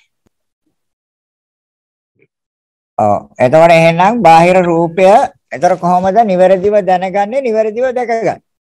එතර බුදුරජාණන් වහන්සේ අර හාමුදුරන්ට කියන්නේ භික්ෂුන් නම බාහිර රූපය නිවැරදිව දැනගන්න නිවැරදිව දැකගන්න ඒ කියන්නේ අනිත්‍ය වශයෙන් දකින්න. එතර බාහිර රූපය අනිත්‍ය වශයෙන් දකින්න නම් දකින්න තියෙන්නේ ඒ රූපේ තියෙන ස්වභාවය නෙමෙයි ඒ රූපය හදපු ධර්මතාවයන්ගේ ස්වභාවය. එතකොට සතර මහා ධාතු. එහෙනම් ඉපද බින්දෙන්නේ සතර මහා ධාතු. ඇතිව නැති වෙන්නේ. හට ගන්න ශරණයෙන් අතුරුදහන්. එයි මහණෙනි ඒකට ආයශ චිත්තක්ෂණ 17යි. ඊට වඩා ආයශයක් නෑ. එහෙනම් අනිත් ඒතර නිත්‍ය සංඥාව දුරු වෙන තුරු නැවත නැවත මෙනෙහි කරන්න නැවත නැවත සිහි කරන්න නැවත නැවත මෙනෙහි කරන්න. එතකොට නිත්‍ය සංඥාව මනසින් ක්‍රමක්‍රමයෙන් ක්‍රමක්‍රමයෙන් ගිලිහෙනවා. නිත්‍ය සංඥාව. ඒ වෙනුවට නිවැරදි සංඥාව මනසට ඇතුල් වෙනවා. ක්‍රමක්‍රමයෙන් ක්‍රමක්‍රමයෙන් ඒ කියන්නේ අනවබෝධය ඇත් වෙනවා. අවබෝධය ඇතුල් වෙනවා. අවිද්‍යාව දුරු වෙනවා. විද්‍යාව ආ උපදිනවා. එතකොට එකම ධර්මතාවයක් නැසීමෙන් අවිද්‍යාව උපදිනවා. අවිද්‍යාව දුරු වෙනවා විද්‍යාව උපදිනවා නේද? ඒතර හරිද බුදුරජාණන් වහන්සේ දේශනා කරන්නේ? හරි. එකම ධර්මතාවයක්. ඒතර අවිද්‍යාව. එහෙනම් අවිද්‍යාව දුරු වෙනවා විද්‍යාව උපදිනවා. අනවබෝධය අයින් වෙනවා අවබෝධය එනවා. ඒ කියන්නේ නিত্য සංඥාව අයින් වෙනවා අනිත්‍ය සංඥාව ඇතුල් වෙනවා. ඒතර අනිත්‍ය සංඥාව ඇතුල් වෙන්නේ බාහිර රූපේ නෙමෙයි. ක්‍රියාවේ මොන ක්‍රියාවේද? සතර මහා ධාතුන්ගේ ක්‍රියාවේ. දැන් එතකොට බලන්නකො බාහිර රූපයක් අරගෙන ලෝභය ඇති වෙයිද කියලා. දේශේද? මෝහය එතන නැහැ. ඒ ලෝභයයි දේශය නැත්නම් ඇලෙන්නෙත් නැත්නම් ගැටෙන්නේ නැත්නම් එතන මෝහය නැහැ. පැලීම ගැටීමෙන්නේ මෝහයෙන් හින්දානේ. ඒතර මෝහය කියන්නේ අනවබෝධය. වැරදියට දකින්නේ. ඒතර අනිත්‍ය දේ අනිත්‍ය හැටියට දකින්නේ නෑ ඒක නිත්‍ය සංඥාවෙම ගන්නවා. නිත්‍ය සංඥාවෙන් ගන්නකොට සිත කෙලසෙනවා. සිත කිරිටි වෙනවා. සිත දුෂ්‍ය වෙනවා. රාගය එනවා. දේශය එනවා. ඒතර මෝහයත් එතන. ඒතර මාන්නය එනවා. එතන දිට්ඨියක් තියෙනවා. ඒ වැරදියටනේ දකින්නේ. අනිත්‍ය දේ අනිත්‍ය හැටියට නෙමෙයි අනිත්‍ය දේ නිට්ටය හැටියට දකින්න. ඒතර දිට්ඨියක් තියෙනවා එතන. ඒතර විචිකිච්ඡාව සැකේකුත් වෙනවා එතන. මේ ආම්දුරු කියන බුදුරජාණන් වහන්සේ කියලා තියෙනවා මේක අනිත්‍යයි මේක අනිත්‍යයි අනිත්‍ය මොකද්ද මේ අනිත්‍ය? අනිත්‍යද? නැද්ද? තේරෙන්නේ නැහැ. සැකය විචිකිච්ඡාවක් තියෙනවා. ඉතින් මේ පිළිබඳව අවබෝධ කරගන්න තියෙන කම්මැලිකම නිදිමත ගතිය කම්මැලිකම අකර්මණ්‍ය බව මේක තියෙන මිද්ද. ඒතකොට එතරම් තියෙන උද්දච්චය. ඔය සිත වික්ෂිප්ත වෙනවා. උද්දච්ච කුප්පද. එහෙනම් අහිරිකානෝ තප්ප. ඊට පස්සේදී පාපයට ලැජ්ජන්නේ නැහැ පාපයට බයත් නැහැ. ඒ දකින්නේ මේ ධර්මතාවය නිවැරදිව. ආ ඒකයි කියන්නේ. ඒතකොට නිවැරදිව දැනගන්න, නිවැරදිව දැක ගන්න නම් එහෙනම් නිවැරදිව දැනගත්තාම නිවැරදිව දැක ගන්නවා කියන්නේ විදර්ශනා. ඒ විශේෂ දර්ශනය තුළ ලබා ගන්න අවබෝධය ප්‍රඥාවයි. අපි ඉන්නේ ප්‍රඥාවට. එතකොට අවිද්‍යාව දුර වෙනවා විද්‍යාව උපදිනවා. එතකොට එහෙනම් එකම ධර්මතාවයයි. ඒතර දැන් විශ්වනාහස්යවේ යම් ධර්මතාවයක් නැසීමෙන් අවිද්‍යාව දුර වෙන විද්‍යාව උපදිනවා. බුදුරජාණන් වහන්සේ දේශනා එකම ධර්මයක් නැසීම ඔව් තියෙනවා. අවිද්‍යාව දුර වෙලා විද්‍යාව උපදිනවා. තරණ මොකක්ද එහෙනම් ඒ ධර්මතාවය? ඒක තමයි අවිද්‍යාව. ඒක අවිද්‍යාව. එහෙනම් අනවබෝධයෙන් අපි එන්නේ මේ දර්ශනය තුළ එන්නේ අවබෝධයට. අනවබෝධයෙන් ක්‍රමක්‍රමයෙන් අවබෝධයට. එතකොට අවිද්‍යාව දුර වෙනවා විද්‍යාව උපදිනවා. ඉතින් ඕකනේ කරන්න තියෙන්නේ. එයි ඉතින් ඔච්චර අමාරුයි කියන්නේ. අමාරුයි කියන්නේ ඉතින් මනස ඒ පැත්තට පොඩක් හරවන්න තියෙන මේ දුර්වලතාවය ඒකයි තියෙන්නේ. ඒ කියන්නේ සම වායාම නැහැ එතන. උනන්දු නැහැ, ඕනකම නැහැ. තවත් විඳින්න විඳින්න විඳින්න තමයි හොයන්නේ. විඳින්නම හොයන්නේ. විඳින්න හොයන්නේ. ඇහැ ආ මගේ ඇහැ. රූපත් මගේ. ඒක සිතත් මගේ එකත් ඕනේ. එතෙන් ස්පර්ශයත් ඕනේ නැත්නම් ඉතින් වැඩක් නැහැ. විඳින්නත් බෑ. එකත් ඕනේ. ඊට පස්සේ ඉතින් විඳින්නත් ඕනේ. ඉතින් දැන් මොකද? වේදනා පච්චය තණ්හා තණ්හා පච්චය උපාදාන උපාදාන පච්චය භව භව පච්චය ජාති ජාති පච්චය ජරා මරණ ශෝක පරිදේව දුක්ඛ දෝමන සුපයාස හරි දැන් එතකොට ජරා මරණ ශෝක පරිදේව දුක්ඛ දෝමනස්ස උපායාස දැන් නැද්ද තියෙනවා දැන් එතකොට ඒව විඳ විඳ මම ගිය සතියේ කිව්ව එකනේ. ඒ සියලු දේවල් විඳ විඳ ජරාව දැන් විඳිනවා. ව්‍යාධි විඳිනවා. ශෝක විඳිනවා. කනගාටු විඳිනවා. දුක් දෝමනස්යන් විඳිනවා. ප්‍රියයන්ගෙන් වෙන්වීම විඳිනවා. අප්‍රියයන් එක්ක එකතු වීම විඳිනවා. කැමති දේවල් නොලැබීම විඳිනවා. අකමැති දේවල් ලැබීම විඳිනවා. හැබැයි විඳ විඳ විඳ විඳ ආයි ඒකටම හේතුව හදනවනේ. ඒකටම හේතුව හදනවා. මොකද්ද? ආශ්‍රව. ආශ්‍රව. දැන් ජරා ව්‍යාධි මරණ වලින් දැන් වර්තමාන භවයේ ඉවරද නවතිලාද? ආයි නැද්ද? නෑ නේ තව භවයකට හදනවා. ඇයි තව භවයකට හදන්නේ? ආශ්‍රව.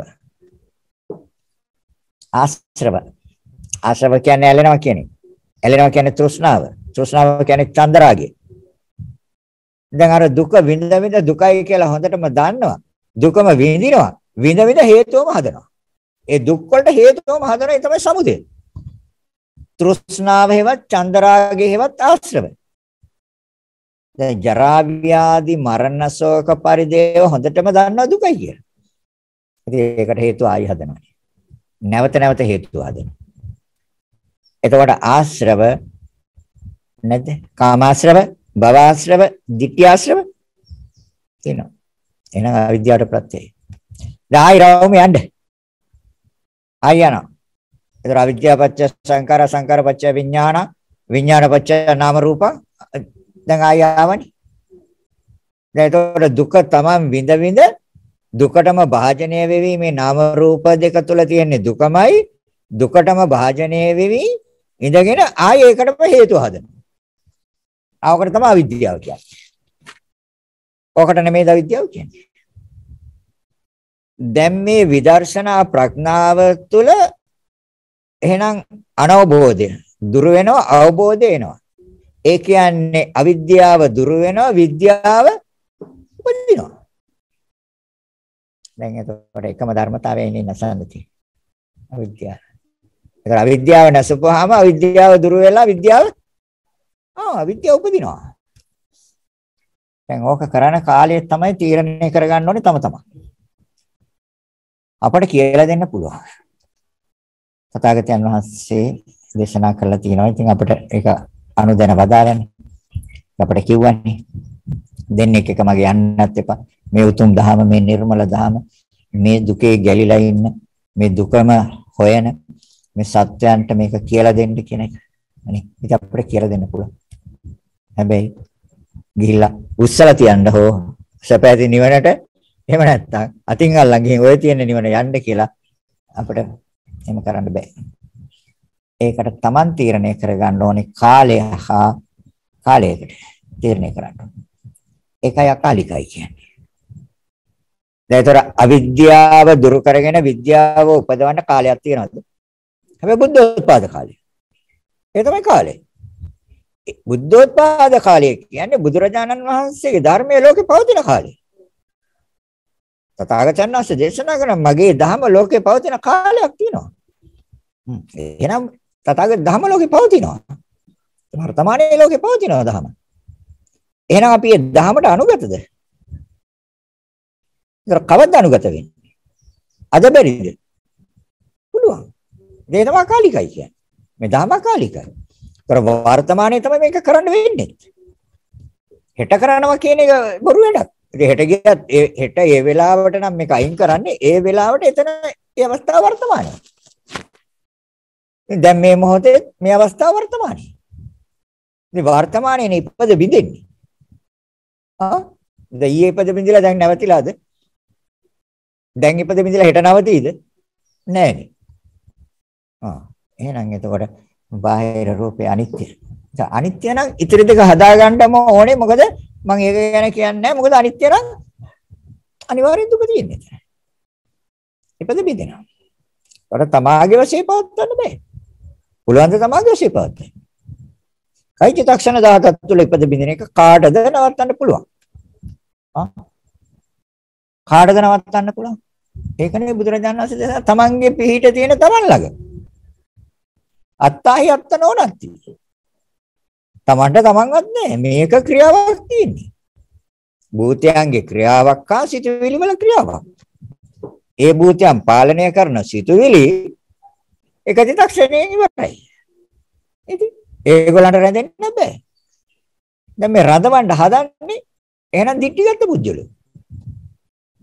එහෙනම් තිරුපති යනවා කියන්නේ දික්ටියක්. ඥානක ගාඩ යනවා කියන්නේ දික්ටියක්. පත්තිනි අම්ම ගාඩ යනවා කියන්නේ දික්ටියක්. එයි පත්තිනි අම්මට බෑ ওই එක චිත්තක්ෂණයක් තුළ ඇති වෙලා නැති වෙලා තියෙන සිත චිත්තක්ෂණ දෙකකට හදන්න. පුළුවන්ද? කතරගම දෙයියන්ට පුළුවන්ද මූණු 6යි අත් 12ක් තිබ්බා කියලා? හා? පුළුවන්ද?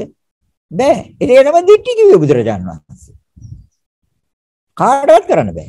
මහා බ්‍රහ්මයාට කරන්න පුළුවන්. සක්‍ර දේවේන්ද්‍රයාට කරන්න පුළුවන්. සක්විති රජුරවන්ට බුදුරජාණන් වහන්සේට කරන්න පුළුවන්. එහෙනම් බුදුරජාණන් වහන්සේ කරනවා. තථාගතයන් වහන්සේට කරන්න පුළුවන් නම් මේක චිතක්ෂණයක් තුළ ඉපද බින්දෙන සිතුවිලි චිතක්ෂණ දෙකකට හදන්න එදා හදලා දෙනවා. හදන්න බෑ. ඒතර මේකේ විශ්සේ සිදුවෙන ධර්මතාවය මේ. ක්‍රියාවලියක් තියෙන්නේ. ඒක මේ ලෝකේ කිසි කෙනෙකුට නවත්තන්න බෑ. එතකොට එන්නේ සම්මා දිට්ඨියට. ඒ නැති තාක්කල් මිත්‍යා දිට්ඨිය. ඒකයි කියන්නේ අපි හදාහනින් වැඩක් නැහැ කියලා. ඉතින් මේවා කියන්න ගියාම සමහර අයට රිදෙනවා. හැබැයි එයාට මේක අවබෝධ වෙච්ච දාට එයාට තේරෙයි අයියෝ මෙච්චර කාලයක් ගියානේ මට මේක තේරෙන්නේ. එදාට තේරෙයි. ඒ නැති තාක්කල් එයා හිතන්නේ ආ ඒගොල්ලන්ට ගරහනවා ඒගොල්ලන්ට නිඳා කරනවා. මේ මේ සත්‍ය දකින්න ඕනේ. බුදුරජාණන් වහන්සේ පෙන්වන්නේ සත්‍යයක්. පරම සත්‍යයක්. ඒක වෙනස් කරන්න බෑ ලෝකේ කාටවත්.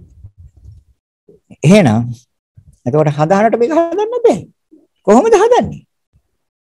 බුදුරජාණන් වහන්සේ දේශනා මේ කර්මය කරා නම් මේ විපාකෙ විඳින්නේ. සිත කෙලෙසුනත් කර්ම හදනවා.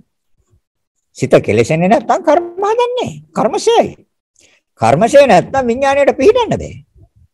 විඥාණයට පිහිටන්න බෑ නම් විඥාන නිරෝධ නාම රූප නිරෝධ. නාම රූප දෙකේ නිරෝධයි කියන්නේ දුක්ඛ නිරෝධයයි. නාම රූප දෙක පිහිටන්නේ නැහැ නාම රූප දෙක ක්‍රියාත්මක වෙන්නේ නැහැ කියන්නේ දුක්ඛ නිරෝධයයි. එයි ඔය දෙකේනේ දුක තියෙන්නේ. දුකයි දුක තියෙන ඔය දෙකේ. ලෝකෙ තියෙන්නේ එච්චරයි. ඉතින් එහෙනම් ඔය දෙකම තියෙන දුක මතයි. ඒකයි බුදුරජාණන් වහන්සේ දේශනා කරන්නේ මහණෙනි මේ ලෝකයේ තියෙන දුක මත.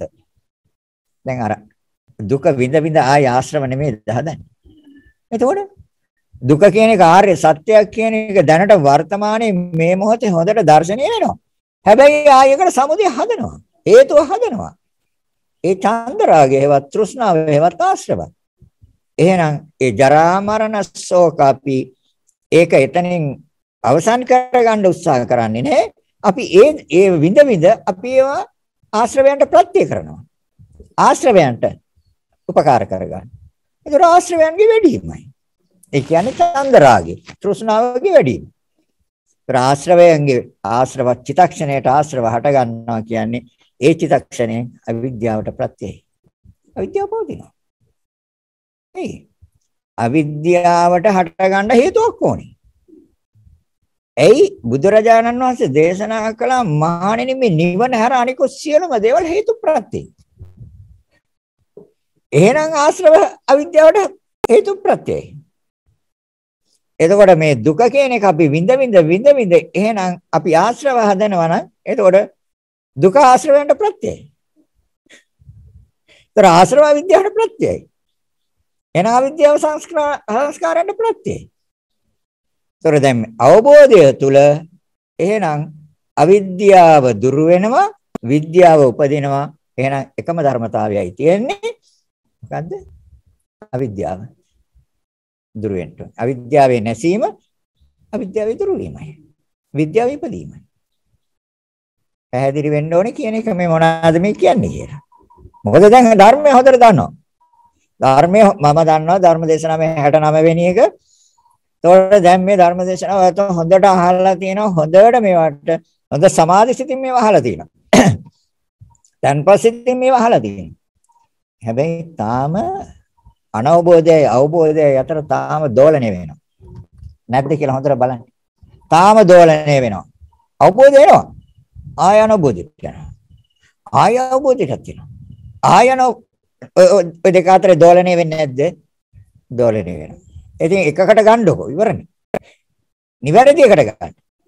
එතන ඉවරයි. එහෙනම් බාහිර රූප. ඒතර බාහිර රූප නැහැ. ඒ දෙක නිසා හදන සිත නිත්‍යද අනිත්‍යද? බුදුරජාණන් වහන්සේ දේශනා කරන අනිත්‍ය වශයෙන් දකින්න. අනිත්‍ය වශයෙන් දකින්න. දැන් නිත්‍යද අනිත්‍යද? ඒතර අනිත්‍යයි කිව්වේ ඒ අසහ රූප. එතකොට සතර මහා එකයි අපි කියන්නේ මේ සතර මහා ධාතුන්ගේ ක්‍රියාවලි දෙකක්. ආයතන දෙකක්.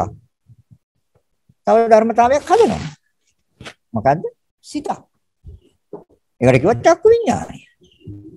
මේක පොඩ්ඩක් හොඳට බලන්නකො මේ ආයතන දෙක නිසා නෙමෙයිද මේ සිත හැදෙන්නේ කියන්නේ චක්කායතනයේ ක්‍රියාව නැත්තම් චක්කු විඥානයක් කවදාවත් හදන්න බෑ. චක්කු සම්පස්සේ හදන්නත් බෑ. චක්කු සම්පස්සේජා සොම්නස් දොම්නස් මැද එකක්වත් හදන්න බෑ. බෑනේ හදන්න? බෑ. ඉතින් එහෙනම් මේ තියෙන සතර මහා ධාතුන්ගේ ක්‍රියාවලිය. ඒ දෙක එකට ගැටෙනකොටම දෙකේම නැති දෙයක් එනවා. හැබැයි අපි ඒකට කැමති ඒකට කැමති ඒකට ප්‍රියයි. ඒකට ඇලෙනවා. මේක දකින්න කියන බුදුරජාණන් වහන්සේ එන එක නිත්‍ය ධර්මයක් නෙමෙයි ඒක අනිත්‍ය ධර්මයක්. ඒත් අනිත්‍ය කියන්නේ කොතනද තියෙන්නේ අනිත්‍ය? චිතක්ෂණයක් නිසා අනිත්‍යයි. චිතක්ෂණයක් ආයශ තියෙන නිසා අනිත්‍යයි. අඩු වශයෙන් චිතක්ෂණ පහක්වත් තියෙනවනම් ආයෙන කමන්න චුට්ටක් හරි තියෙනවා. එතකොට අර 17 නොත් එකයි කියන්නේ සිත රඳවන්නත් බෑ. සිත මොහොතකටවත් තියන්නත් බෑ. ඒ නිසා තමයි උදයහා වැය කියන්නේ. ඒ තමයි ඥානය. උදයවැය ඥානය. උදේ කියන්නේ හටගන්න. වැය කියන්නේ නැතිව. ඥානය කියන්නේ නුවණ. ඉතින් ඒ නුවණ තියනවාද? හටගෙන නැති වෙන බව දකින්න නුවණ. ඒතර තියෙන අනිත්‍යයි. එහෙනම් එතකොට තියෙන්නේ මම බලන එකේ අනිත්‍යයක්ද අර ආයතන දෙයක් එකතු වීම නිසා හටගත් ඒ ආයතන දෙකේම නැති ධර්මතාවයක් හටගත් එකේ අනිත්‍යතාවයක්ද තියෙන්නේ. චක්ක විඥානේ අනිත්‍යයි කිව්ව එකයි. එහෙනම් දකින්න නිවැරදි. වෙයි අනිත්‍ය කියනකොට මෙතන ඊතුරු දෙක දාගන්න ඕනේ හදාගන්න ඕනේ ඊතුරු දෙක. නিত্য දෙහ නিত্য දෙයක් නම් සපයි අනිත්‍යන්න දෙයක් නම් අනිත්‍ය දෙයක් නම් වෙනස් වෙන දෙයක් නම් මොහතක නම් පැවැත්ම තියෙන්නේ ඒක සැපක් වෙන්න බෑ කොහොමද ඒක සැපක් වෙන්නේ? සැපක් වෙන්නේ. ඒක දුකක් හැබැයි චක්කු විඥාණයට කැමති. බලන්නම තමයි හොඳ. කැමති. රූප බලන්න. රූප බලන්න. ඉතින් බලන රූපත් ලස්සනට තියෙන්න නැත්තම් දොම්නස්. හා? ලස්සනට තියෙන්න බෑ. නැත්තම් දොම්නස්. දැන් දොම්නස් කියන්නේ කාටද දොම්නස්? ඒක සිතක්. එක චිත්තක්ෂණේ නියත්. එයත් එක චිත්තක්ෂණේ. දැන් චක්ක සම්පස්ස. ඒතර බුදුරජාණන් වහන්සේ දේශනා කරනවා අර භික්ෂු නමට. භික්ෂු නම චක්ක සම්පස්සේ අනිත්‍යයි. නිට්ටයද අනිත්‍යද? අනිත්‍යයි. ඒතර අනිත්‍ය ඇයි අනිත්‍ය? අනිත්‍ය චිත්තක්ෂණයක් තියෙන නිසා. ඉතින් ඔය ස්පර්ශය චිත්තක්ෂණ පහකට 10කට හදලා දෙන්න පුළුවන්. ඒ කියන්නේ චිත්තක්ෂණ පහක් හෝ 10ක් පවතින හදන්න පුළුවන් జగතෙක් මේ ලෝකේ ඉන්නවද? ආ ඉන්නවද? බුදුරජාණන් වහන්සේට බෑ නම් වෙන කවුද ඔක් කරන්නේ? ආ ඒකනේ කියන්නේ. බුදුරජාණන් වහන්සේට බැරි දේවලුත් අර කතරගම සෙල්ල කතරගම අර තොටිල්ලක් හදලා තියෙනවා තොටිල්ල පද්දපුවාම රුපියල් 500ක්ද 1000ක්ද කොහොම දීලා ඉවර වෙලා දරුවෝ හම්බ වෙනවා. අද හැම එකක් තියෙනවා ඔය කතරගම පැත්තේ.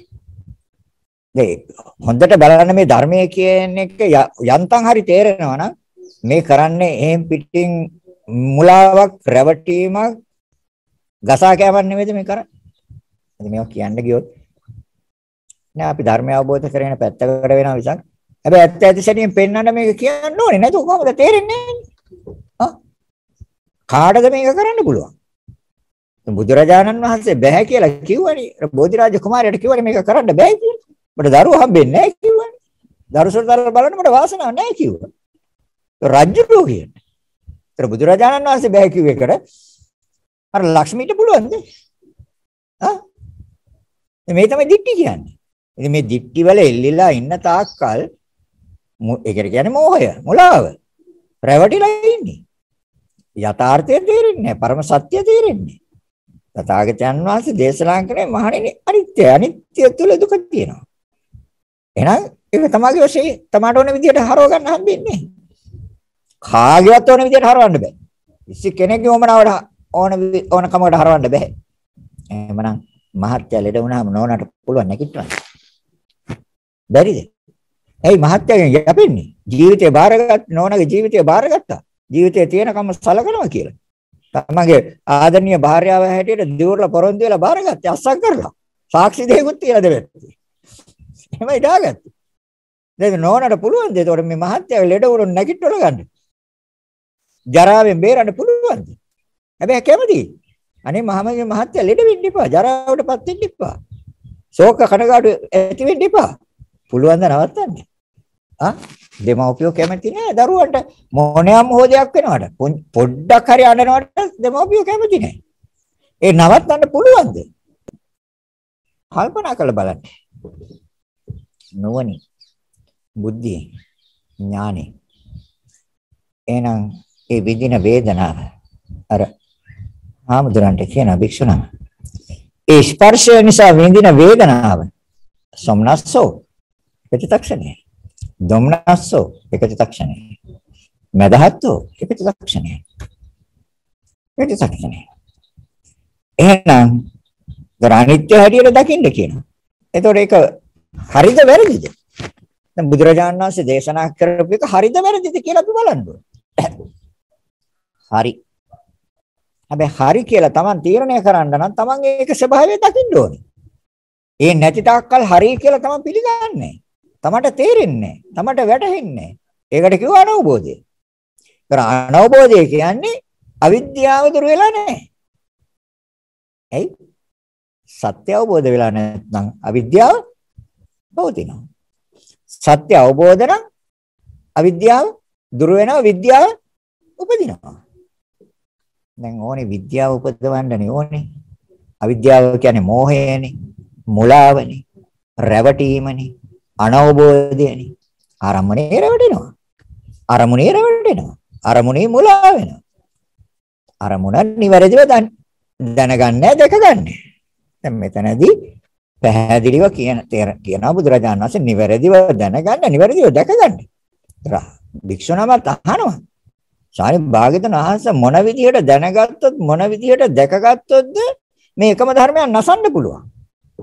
අවිද්‍යාව දුර වෙලා විද්‍යාව උපදින්නේ මොන විදිහට දැනගත්තොත් මොන විදිහට දැකගත්තොත්ද? එතකොට දෙකක් තියෙනවා එතන. දැන ගැනීම හා දැක ගැනීම. එහෙනම් එතකොට දැක ගැනීම තමයි විදර්ශනා. දැන් එහෙනම් ඉතින් ආයි කියන්න ඕනේ දැන්. අපි නැවත නැවත කියන්නේ මේ බුදුරජාණන් වහන්සේ දේශනා කළ පෙන්වලා දීලා තියෙන ධර්ම. දික්ටි වලට යන්න එපා. දික්ටි වලට ගියොත් දික්ටි තියෙන තාක්කල් මේ ධර්මය තේරෙන්නේ නැහැ.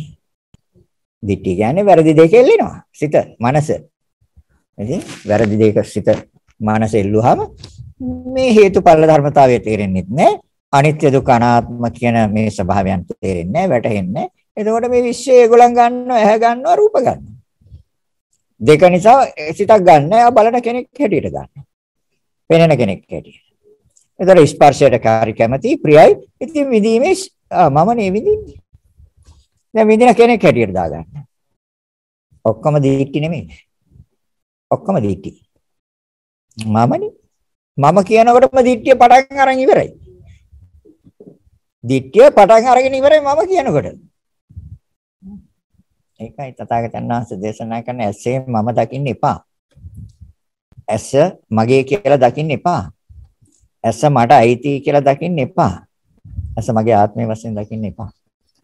බාහිර රූප මගේ කියලා දකින්න එපා. මට අයිති කියලා දකින්න එපා. නිවැරදිව දැනගන්න නිවැරදිව දැක ගන්න. පැහැදිලිද කියන එක. දැන් ඒතකොට මේ ධර්ම දේශනාව දේශනා කළ ඉවර වෙනකොට බුදුරජාණන් වහන්සේ මේක දිගහැරලා ඉවර වෙනකොට හාමුදුරුවෝ රාත් වෙලා ඉවරයි. ඉතින් මම මේක දැන් 68ක් කිව්වා දැන් මේ 69 වෙනි එක මන් දන්නේ නැතා මොනවක්වත් වෙලා තියෙනවද කියලා. කිසිම දෙයක් වෙලා තියෙනවද කියලා මම නම් දන්නේ නැහැ. හැබැයි මම නම් ආශිර්වාද කරනවා මොන හරි වෙන්න කියලා. නිවැරදි වෙන්න කියන එක ආශිර්වාද කරනවා. නිවැරදි වෙන්න. හැබැයි නිවැරදි වෙන්න නම් මම කොච්චර ආශිර්වාද කළත් කොච්චර ප්‍රාර්ථනා කළත් Taman නිවැරදිව දැනගත්තේ නැත්නම් දැකගත්තේ නැත්නම් කවදාවත් වෙන්නේ නැහැ. තේරෙනවද? මං යම් කෙනෙකුට යහපතක් ප්‍රාර්ථනා කරන එකේ ඒකේ පුණ්‍ය ශක්තිය මට තියෙනවා. මම පිරිසිදු සිතින් නිවැරදි දේ නිවැරදි ආකාරයට දේශනා කරලා කලා කියන සතුට මට තියෙනවා. එහෙනම් ඒ ධර්මයේ නිවැරදිව දැනගෙන දැකගත්ත කියලා ලබා ගන්න සතුට ඒක මට දෙන්න බෑ. ඒක තමයි ආ මම දැන් නිවැරදිව දන්නවා මම දැන් නිවැරදිව දැක්කා කියලා එදාට කවුද සතුටු වෙන්නේ? හාමුදුරුවෝද? නෑ අවබෝධ කළ කෙනා සතුටු වෙන්නේ. එයයි සතුටු වෙන්නේ. හරි. බුදුරජාණන් වහන්සේ දේශනා කළ තියෙන එක හරිනේ. හරියටම හරිනේ. ඒක ඒක කොතනකවත් නෑ ඉවත් කරන්න දෙයක්. හරිම ලස්සනයි ඒක. පැහැදිලි, පිරිසිදුයි, නිර්මලයි, පිවිතුරුයි. මේ වචන නෑ කියන්නේ. ඒ දහමට. එහෙනම් ඒක විතරක් නෙමෙයි ආයි කියනවා බුදුරජාණන් වහන්සේ. මහාන කන කන අනිත්‍ය වශයෙන් දකින්න කියනවා. ඒක කන අනිත්‍ය වශයෙන් දැක්කම අවබෝධ වෙනවද? හා? නෑ. ඒ නැති දෙයක් නේ. ගැනනේ බලන්න කියන්නේ. නෑ. ඒතර අපි දන්නවා කන කියන්නේ ඒතර මහ භූත හතරයි. ඇයි? මහ භූත හතර නිසා පවතිනා උපාදාය රූප 24යි. නැත්නම් නාමංච රූපංච ඒ දෙකට දාන්න. නාමයට දාන්න බෑ කන. අර විඥානයයි ස්පර්ශයයි වේදනාවයි දාන්න නාමයට. මේ තමයි නාමය. නාමය කියන්නේ සිත සිතුවිලි. ඒතර විඳින්නේ සිතින්. ස්පර්ශයෙන් සිතින්. ඒතර සොම්නස් දොම්නස් මදහත් සිතින්. සිතට එන්නේ. ඒකයි නාම කිව්වේ. එහෙනම් කනයිති රූපේට. රූපේ කියන්නේ රුප්පණේ හේවත් වෙනස් වෙනවා. ඒතර කනද වෙනස් වෙන්නේ? නෑ රූපේ වෙනස් වෙන්නේ. ඒක රූපේ කියන්නේ මොකද්ද? මහ භූත හතර. ඒතර වෙනස් වෙන්නේ කනද මහ භූත හතරද වෙනස් වෙන්නේ. එහෙනම් එතනට එන්න ඕනේ සිත. මහ භූත හතර කියන තැනට සිත එන්න ඕනේ. එතකොට කනක් බාහිරින් දකින්න පුළුවන්. හැබැයි මනසේ මනසෙන් ඒක අයින් වෙලා තියෙනවා. ඒ කියන්නේ සත්‍ය මනස තුළ තියෙනවා. ඒ කියන්නේ අපි කියන්නේ දර්ශන දෙකයිනේ ලෝකේ තියෙන්නේ. දර්ශන දෙකයි තියෙන්නේ. එහෙන් දකින්නවා නුවණින් දකින්නවා. නුවණින් දකින්න. මේව දෙයක් තියෙනවා. මේක නිවැරදි. ඒක තොර එක නුවණින් දකින්න. තොර පරමාර්ථය විද්‍යාමානයි. සම්මුතිය විද්‍යාමානයි. දැන් පෘථග්ජන පුච්චරයට තියෙන්නේ මොකද්ද? සම්මුතිය විද්‍යාමානයි පරමාර්ථය විද්‍යාමානයි. ඒතර පරමාර්ථය විද්‍යාමාන නම් අනිත්‍යයි කියලා කන අනිත්‍යයි කියලා කොච්චර කිව්වත් හිතුවත් සිය දහස්වර හිතන්නකො. කන අනිත්‍යයි කන අනිත්‍යයි කන අනිත්‍යයි අනිත්‍යයි. මොනවද දකින්න? දකින්න දෙයක් තියනවද? නෑ. දකින්නවා. එතකොට දකින්නේ කනේ නෙමෙයි. නාමංච රූපාංච ඒතර රූපයට අයිති කොටසයි මේ කියන්නේ කියන එක තේරෙනවා. රූපේ කියන්නේ මහ භූත හතර. රුප්පණේවත් වෙනස් වෙනවා. ඒතර කනේ වෙනස් වීම නෙමෙයි තියෙන්නේ. පඨවි ධාතු ඉපද බින්දින. ආපෝ ධාතු ඉපද බින්දින. කන හැදුවේ මහ භූත හතරයි. එහෙනම් කන නෙමෙයි අනිත්‍ය. භූතයන් හතර දෙනයි අනිත්‍ය. ඒ අනිත්‍ය වෙන්නේ. ඔවුන් ඉපද බින්දින හින්දා. ඇතිව නැති වෙන හින්දා. හටගන්න ශනේ අතුරුදහන් හින්දා. හටගන්න ශනේ අතුරුදහන්. ආයි දකින්න බෑ. ආයෙන්නේ අලුතින් එන. අලුතෙන් අලුතින් ඒව එනවා. ඒන ශනේ අතුරුදහන්. අන්න එතන අනිත්‍ය තියෙන්නේ. එතන නෙමෙයි අනිත්‍ය තියෙන්නේ. හටගන්න ශනේ අතුරුදහන් වෙන තැන. නේ. ධර්මතා හතරක් නිරන්තරයෙන් ප්‍රත්‍යනේ. කම්මචිත්ත ඍතු ආහාරය. දැන් නිරන්තරයෙන් ප්‍රත්‍යයයි හට ගන්න ශනේ අතුරුදහන්. අන්න එතන අනිත්‍ය තියෙන්නේ. ඒ අනිත්‍ය තියෙන්නේ මහ භූත හතරේ. දර කන කියන හැඩය ඒ ස්වභාවය සත ප්‍රසාද රූපේ සත ඉන්ද්‍රිය සත ආයතනෙ කාමචිත්ත ඍතු ආහාර. එහෙනම් සතර මහා ධාතු ඉපද බෙදින්නේ. ඒතර මේන් හදනවනේ. මේන් නිපදවනවා. මේන් හදනවා. හදනවා. හදනවා. හදන ශරණෙන් අතුරුදා. හදන ශරණෙන් අතුරුදා. හදන ශරණෙන් අතුරුදා. ඒ තමයි නිබ්බති ලක්ෂණය කියන්නේ. රැඳිලා තියලා එනව නෙමෙයි.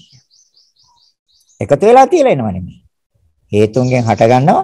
හට ගන්න ශරණේ අතුරුදා. නෑ.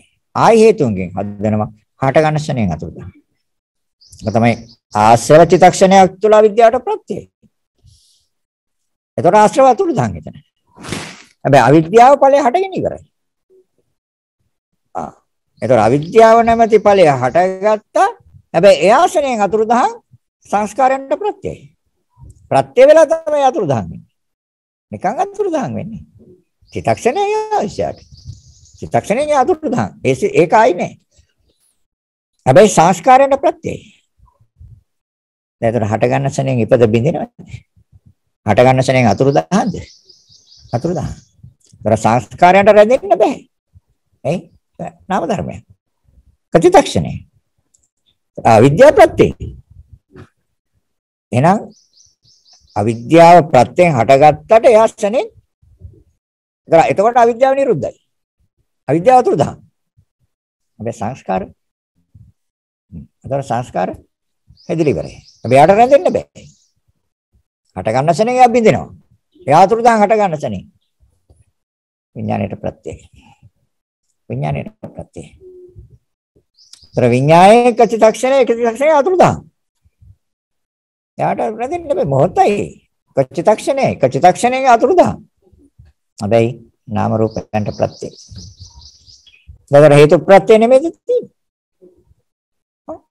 හේතු ප්‍රත්‍ය.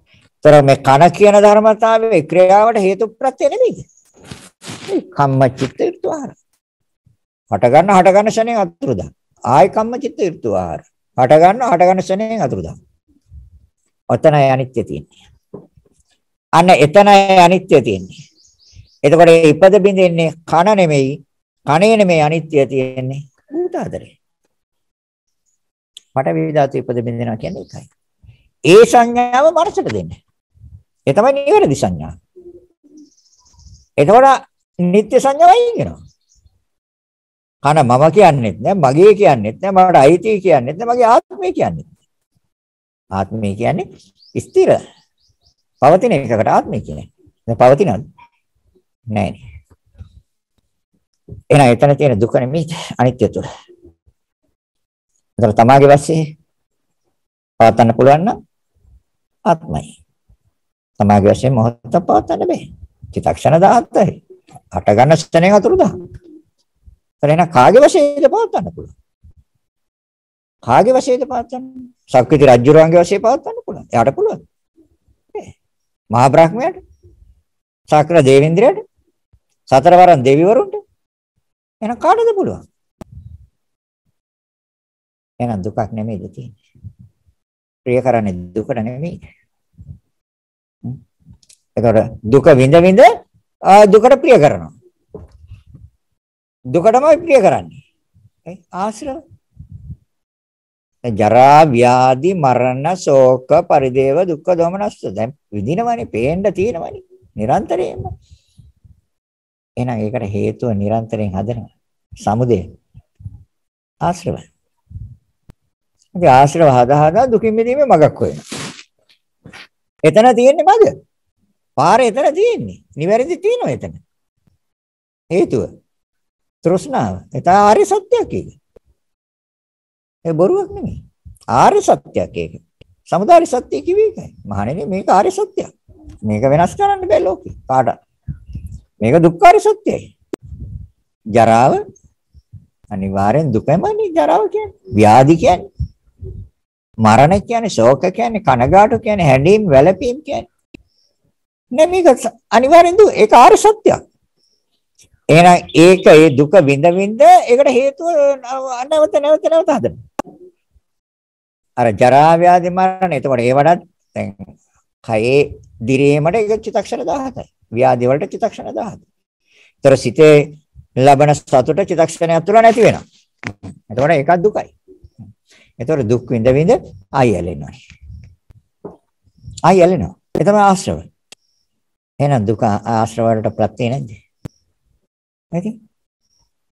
ඒක ආශ්‍රව කියන්නේ තෘෂ්ණාව හැවත් චන්දරාගය. ඒක බුදුරජාණන් මොකද්ද කියන්නේ? තථාගතයන් වහන්සේ දේශනා කරනවා එහෙනම් ආශ්‍රවත හරින්න. ආශ්‍රවයෙන් මිදෙන්න. ආශ්‍රවයෙන් මිදෙනවා කියන්නේ කර්මශයයි. කර්ම අවසන්. කාමාශ්‍රයයට කාමයන්ට ඇලෙන්නේ නැත්නම් ඒතර ඒ පිළිබඳව කර්ම කරන්න නැහැ කරන්නේ. භවආශ්‍රම. ඒතර භවයන්ට නැහැ ආශ්‍රවයක් ඇලීමක්. ඕ මේක මෙතනින් නවතිනවා නම් මේ දැන් නවතිනවා හොඳයි. තේරෙනවා ඒක පැහැදිලි. භවආශ්‍රය දික්ඛ්‍ය ආශ්‍රය නෑ මෙයා දකින්න නිවැරදිව. මේ නාම රූප දෙකේ ක්‍රියාව දකින්නේ නිවැරදිව. හේතු ප්‍රත්‍යයට අනුරූපව.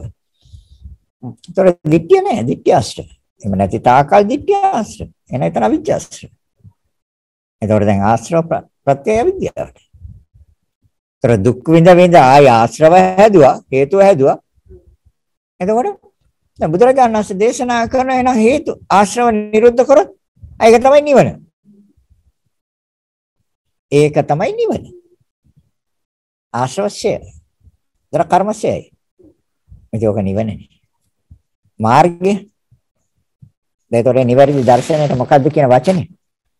සම්මාදිට්ඨිය. ඒ නිවැරදිව විභාග කිරීම, පරීක්ෂා කිරීම, බෙදා වෙන්කොට බැලීම, කල්පනා කිරීම, විතර්කය සමසංකප්ප. ତර මේ දෙක තියෙනකොට එයා සම්මා වාචා වලට එනවමද නැද්ද? එයා බොරු කියන්නේ කවදාවත් ආයි. එයා කේලාම් කියන්නේ එයා දන්නවා මේ වැඩක් නැහැ මොනවද මේ බොරු කියලා කේලාම් කියලා පරුෂ වචන කියලා මේ වැඩකට නැති දේවල් කතා කළා මොකද්ද ඉති ඵලය? දැන් සම්මා වාචා ගාව තියෙන. ඒක සම්මා වාචා තියෙන ලෞකික පැත්තට නෙමෙයි. ඒ සම්මා දිට්ඨි නිවැරදිව දැනගෙන නිවැරදිව දැකගෙන එතකොට ඒ පිළිබඳව නිවැරදිව කල්පනා නිවැරදිව දැක්කා. එතකොට සම්මා දිට්ඨි සම්මා සංකප්ප. ඒක ලෞකික පැත්ත නෙමෙයි ඒක ලෝකෝත්තර පැත්ත. එන සම්මා වාචා කියන්නේ ආ එතකොට සදාහටම බොරු කීමෙන් වළකිනවද? බොරු කීමෙන් එයා සදාහටම වළකිනවා. කේලාම් කීමෙන් එයා සදාහටම වළකිනවා. පරුෂ වචන කීමෙන් සදාහටම වළකිනවා. වැඩ කරන්නේ දේවල් කතා කිරීමෙන් එයා එතනින් යනවා යන්න ඉන්නෙත් නැහැ. ඔය මොනවද කතා කරන්නේ මට නම් ඇතිවන් ඇති වැඩක් නැහැ කියලා. එයා එතනින් කිසි කෙනෙකුට දොස් කියන්නේ නැහැ, බයින්නෙත් නැහැ. එයා හිමීසරේ එතන නැගිටලා යනවා යන්නේ. එයා ඉන්නවා එතනින්. ඒතර ඒ කතා කරන්නේ. ඒතර සම්මා වාචා ලෞකික පැත්ත නෙමෙයි. ලෝකෝත්තර පැත්ත ඉන්නේ. ඒතර ඒ අනුව තමයි යාගේ කර්මාන්තයක් කරනවා නම් සමකම්මන්ත. ආර්ය ඒතකොට ආර්ය මාර්ගයට බහැලා ඉන්නේ. නිවැරදිව දැන ගන්න නිවැරදිව දැක ගන්න. එතකොට ආර්ය මාර්ගයට බහැලා. ආර්ය මාර්ගයට බහැපු කෙනෙක්ගේ සම්මා කම්මන්තයයි නිවැරදි ලෝකෝත්තර ආර්ය ශ්‍රාංගික මාර්ගය. තර සමාජීව නිවැරදි දිවි පැවැත්මක් ගෙවනවා. එතකොට එයා විදර්ශනා ප්‍රඥාව තුළ ඉන්නේ. එතකොට ලෝකෝත්තර ආර්ය ශ්‍රාංගික මාර්ගයට බහැලා තියෙනවා. ඒ සමාධිට්ඨි සම සංකප්ප යාළඟ තියෙන නිරන්තරයි. පැහැදිලිද කියන එක. තේරෙනවද කියන එක. ତර සමා ආචිව සමා වායම්. ඉතින් නිවැරදි උත්සාහයක් තියෙන මේ කෙලෙස් වලින් මිදෙන්න. කෙලෙස් වලින් සිත අයින් කරගන්න. සමා වායම්. ඒතර නිවැරදි සිහිය එතන තියෙනවා. ඒ සම්මා සති. දර සම්මා දිට්ඨිය සම්මා සංකප්ප දෙක සම්මා වාචා සම්පූර්ණ කරන්නේ නැද්ද? එතන මේ ධර්මතා තුන එකතු වුණාම සම්මා කම්මාන්තය සම්පූර්ණ වෙන්නේ නැද්ද? මේ ධර්මතා ටික එකතු වෙනකොට සම්මා ආජීවය සම්පූර්ණ වෙන්නේ නැද්ද? නේද සම්මා මේ කරුණ එකතු වෙනකොට සම්මා ආජීවයත් එක්ක නිවැරදි උත්සාහය නිවැරදි උනන්දු ඕනකම මොකටද? පවත්තන්න නෙවෙයි නිවන්න. නිවෙන්න. ආ ඒක තමයි නිවැරදි උත්සාහය සමවාය. ඒතර සිහිය තියෙන්නේ ලෞකික පැත්ත නෙමෙයි ලෝකෝත්තර පැත්තේ. සසර පැත්තේ නෙමෙයි නිවන පැත්තේ තියෙන්නේ සිය. මට වැඩක් නැහැ මේ සසරේ. ਪਰ නිවැරදි සිය සමාසතිය එතන තියෙන්නේ. සම්මා සමාධි චිත්ත ඒකාග්‍රතාව. ඒතර බුදුරජාණන් වහන්සේ දේශනා කරන මහණෙනි පිරිවර සහිත චිත්ත ඒකාග්‍රතාවේ සම්මා සමාධි කියන්නේ. හතක් පිරිවර වෙලා ඉන්නවා. සම්මා දිට්ඨි, සම්මා සංකප්ප, සම්මා වාචා, සම්මා කම්මන්ත, සම්මා ආජීව සම්මා වායාම සම්මා සති මේ ධර්මතා හත පිරිවර වෙලා යම් වෙලාවක චිත්ත ඒකාග්‍රතාවයක් මහණෙනි ඒ ලෝකෝත්තර සම්මා සමාධියයි. ඒ ලෝකෝත්තර සම්මා සමාධියයි. ඒක ලෞකික සමාධිය නෙමෙයි. අර ආලාර කාලා මුද්දකරාම පුත්තකේ සමාධිය නෙමෙයි. ඒක ලෝකෝත්තර. එතකොට ඒ ධර්මතාවට සම්පූර්ණ කරනකොට සම්මා ඥාන සම්මා විමුක්ති. මේක ඉවරයිනේ. එතනින් අවසන්. එහෙනම් එතකොට දැන් කනේ අනිත්‍යතාවය තියෙන්නේ. නෑ භූතයන්ගේ අනිත්‍යතාවයක් තියෙනවා. ඉපද බින්දෙන්නේ කන නෙමෙයි. ඒතර අනිත්‍ය දකින්න කියන්නේ දැන් නමුත් අර විවාහයට ඕනේ මේ වචනේ ගන්න. අර හාමුදුරට කියනවා භික්ෂුණම කන අනිත්‍ය වශයෙන් දකින්න. එතකොට දැන් කන අනිත්‍ය වශයෙන් දැක්කා නෑ. ඒතර කන හදලා තියෙන දේ තුලයි අනිත්‍ය දකින්න ඕනේ. එතකොට භූතයන්ගේ අනිත්‍ය දකින්න. එතන පරමාර්ථය විද්‍යාමානයි. එතන සම්මුතිය විද්‍යාමානයි. එතකොට සිත කෙලෙසින්නේ අපිරිසිදු වෙන්නේ දූෂ්‍ය වෙන්නේ. සම්මුතිය තුලයි දූෂ්‍ය වෙන්නේ. අපිරිසිදු වෙන්නේ කෙලෙසෙන්නේ. එහෙනම් බාහිර ශබ්දේ බාහිර ශබ්දේ අනිත්‍ය වශයෙන් දකින්න. න ශබ්දේ එතන ශබ්දයක් තියනවාද ලෝකේ? සම්මුති ලෝකේ තියෙන ශබ්දයක්. පරමාර්ථය සබ්දන්නේ. පරමාර්ථය තියෙන්නේ. සතර මහා ධාතුන්ගේ ඝට්ටනයක්. ඒ ධර්මතා හතර එකට ගැටෙනවා. නිරන්තරයෙන්ම උන්ට එකට ගැටි ගැටි ගැටි ගැටි හදනවා ශබ්ද සතර මහා ධාතු. පඨවි ධාතු ආපෝ ධාතු තේජෝ ධාතු වායෝ ධාතු. ඔය හතර නිරන්තරයෙන් ඔය හතරට ප්‍රත්‍යයයි. නේ ඒක ශබ්ද හදන්නේ. ඉතින් ශබ්දය මටනේ. මට ශබ්දය හම්බේ මම කේත කොහෙද ඉන්නේ මම මේක ඇතුලේ. ආ? ශබ්දය ඇහුනේ කාටද? අහගත්තේ කවුද ශබ්දය? මේ. සිතක් හැදුවා. ඒතර ආයතන දෙකක් එකතු වෙලා සිතක් හැදුවා. මේ කන නැමැති සතර මහා ධාතුන්ගේ ආයතනයේ ක්‍රියාකාරීත්වය නැත්තම් ඉස්සරහා එක ධර්මතාවයක්වත් හදන්න බෑනේ. බෑ. සත විඥානය හදන්නත් බෑ. සෝත සම්පස්සය හදන්නත් බෑ. සෝත සම්පස්සයෙන් ඒ ස්පර්ශය නිසා විඳින සොම්නස්, දොම්නස් මදහත් එකක්වත් හදන්න බෑ. අතර බලන්න හදන්න බෑ. එහෙනම් හේතුන්ගෙන් හැදෙන්නේ. හේතු ප්‍රත්‍යයෙන් හැදෙන්නේ. එහෙනම් ඒතර අනිත්‍යතාවය දකින්න කියනවා. සෝත විඥානය. එතකොට බලන කෙනෙක්ගේ ආහන කෙනෙක්ගේ අනිත්‍යතාවයද දකින්න ඕනේ ඒ සිත හටගෙන බිඳෙන ආකාරයද දකින්න ඕන. ඒ සෝත විඥානය හටගෙන බිඳෙන ආකාරයයි දකින්න ඕනේ. ඒකයි නිවැරදිව දැනගන්න ඕනේ, නිවැරදිව දැක ගන්න ඕනේ. එතකොට නිවැරදි දර්ශනය සිතට අනුගත වෙලා ඉවරයි. නিত্য සංඥාවයින් වෙවි. අනිත්‍ය සංඥාව ඇතුළත් ඒ. සිතට අනුගත වෙයි අනිත්‍ය සංඥාව. එතකොට ඒ විඥානයේ එක චිතක්ෂණයක් තුළ ඉපද බිඳෙන හැටි ලස්සනට දකිනවා. ඒ දර්ශනය විදර්ශනයි. ඒ අවබෝධය අවිද්‍යාව දුරු කරලා විද්‍යාව උපදවයි අවබෝධය. අනවබෝධයටයි අවිද්‍යාව. අවබෝධයට කියන්නේ විද්‍යාව. එහෙනම් සත විඥානේ අනිත්‍යයි. ඒතර ඒ හටගන්න සිත ආයතන දෙකේ එකතුව නිසා හටගන්න සිත ඉපද බින්දිනවා. ඇතිව නැති වෙනවා. හටගන්න ශරණයෙන් අතුරුදහන. ආයි මේ දෙක එකතු වෙන්න ඕනේ ආයි සිත හැදෙන්න. හටගත්ත ශරණයෙන් අතුරුදහන. ආයි ශබ්දයයි මේ ආයතනයයි එකතු වුණාම ආයි සිතක් හැදෙනවා හදන ශරණයෙන් අතුරුදහන. අන්න දකින්න එතනයි අනිත්‍ය තියෙන්නේ. එතනයි නිවැරදි දර්ශනය තියෙන්නේ. ඒ නිවැරදි දැකීම තියෙන එතන. එතකොට අහන්නේ මම නෙමෙයි. මම දහන්නේ. ස්පර්ශයක් තියෙන එතන සත්‍ය සම්පස්ස. ස්පර්ශයෙන් නිසා විඳීමේ සිත් තුනක් තියෙනවා. සොම්නස්, දොම්නස්, මදහ. මේ කවුද විඳින්නේ? සිත් තුනයි. චිතක්ෂණ තුනයි. සොම්නස් චිතක්ෂණයි ඇතිව නැති වෙන. අතුරුදහන්. දොම්නස් චිතක්ෂණේ අතුරුදහන්. මදහත් චිතක්ෂණේ අතුරුදහන්. කොතනද අනිත්‍ය තියෙන්නේ? අනිත්‍ය තියෙන්නේ විඳින පුජ්‍යලෙක් ගාව අනිත්‍ය තියෙන්නේ අර චිතක්ෂණ තුනක් තුළ හටගත්ත සිත් තුනේද? නාමයේ අනිත්‍යතාවය. ඒ සිත්යි ති නාමයට. ඒතර කණයි ශබ්දයයි ඇති රූපයට.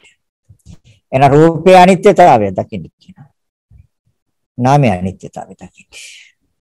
නාම ධර්ම තුනයි. සත විඥාන සත සම්පස්ස සත සම්පස්සජ වේදනා. ඒ වේදනාවේ සිත් තුනයි.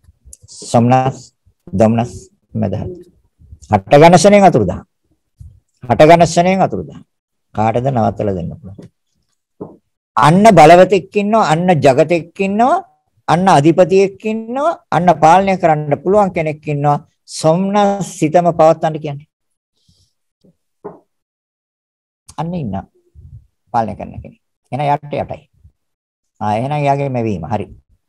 බෑ ඕනේ මට සොම්නස්. මට දොම්නස් නම් බෑ. බෑනේ. බෑ. අමනාප නම් බෑ මට. මම ඒකට කැමති නෑ. මම කැමති සොම්නස්. සතුටෙම ඉන්නයි මට ඕනේ. සොම්නස්මයි ඕනේ. සතුටමයි ඕනේ මට. ඉතින් ඒක දායාද කරන්න කියන්නේ මහා බ්‍රහ්මයාට. දෙවියන් වහන්සේට. පුළුවන් කරන්න. බැරිද? බෑ. ඒකට තමන්ට තමන්වත් නැහෙනි. ආ ඒ තමන්ටත් හදන්න බැරි. තමන්ගේ මේ ධර්මතාවයන් ටික තමන්ට ඕන විදිහට හදන්නත් බෑ. අය තමන්නාත්මයි කිව්වේ. ඒක අනාත්මයි කිව්වේ. දාද කතා කරන්නේ දෙකක් ගැන විතරයි. ඒකට වැඩි කාලයක් නැහැ. දාද පරිවේශයි. ඒ රාත්‍රී මුළුල්ලෙක් නිදි වර්ජිතව හිටියේ. උදේ රොනල් ශ්‍රීමා බෝධි කිරි ආර පූජාවක් තිබ්බා. අයරණල්සේ කප්රුකොත් බලන්දලා එතනත් වන්දනාමාන කළා ආවේ. 10 10 වෙනකොට පැහැදිලිද කියන්නේ? පැයකමාරක් කතා කළා එහෙමයි සර් පැහැදිලිද? ආ? පැහැදිලි පැහැදිලි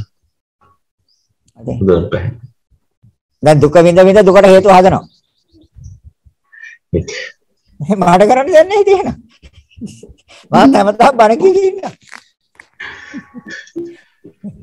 ආ ඒ ලස්සන ස්වාමීන් ලංකාවේ මිනිස්සු ඔක්කොම දුකමයි නේද? හැමතිස්සෙම හදන්නේ පේන පේනවා නේද මේ විඳින දුක? මොනතරම් දුකක්ද මේ විඳින්නේ මේ මිනිස්සු කියලා?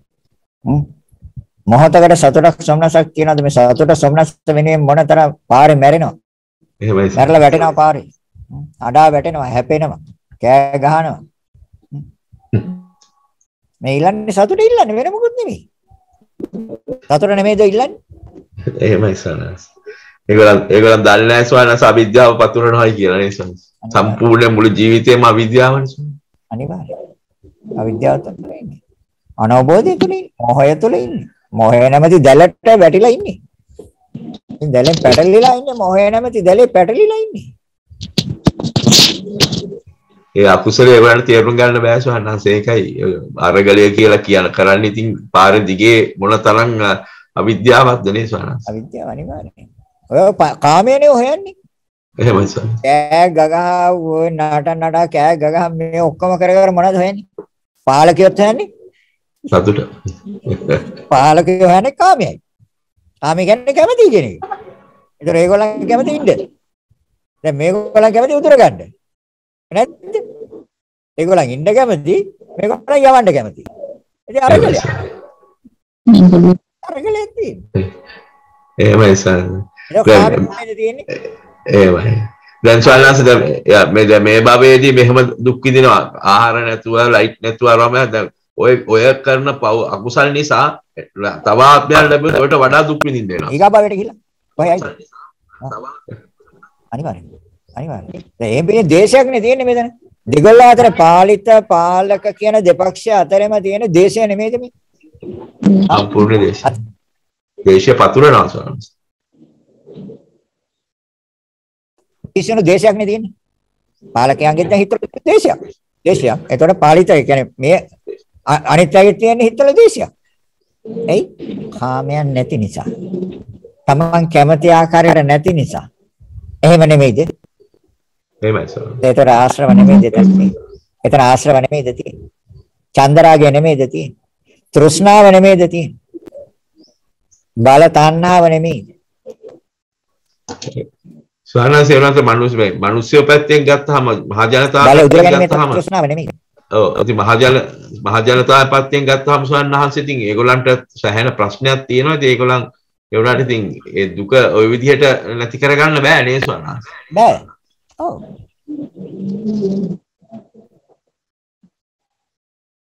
නැති කරන්න බෑ. මේ බුදුරජාණන්සේ පෙන්නේ ඔබ තමයි කාටවත් වෙනස් කරන්න බෑ. මේ තම තමන් තේරුම් ගන්න ඕනේ. තමම අවබෝධ කරගන්න ඕනේ තම තමන් තේරුම් ගන්න ඕනේ වටහා ගන්න ඕනේ තමන්මයි. ඇලෙන්නේ ගැටෙන්නේ ඕවට ඇලෙන්නයි ගැටෙන්නයි කියොත් ඉතින් අපිට පංච උපාදානස්කන්ධම කොච්චර හදනවද වහන්සේ ඔව්.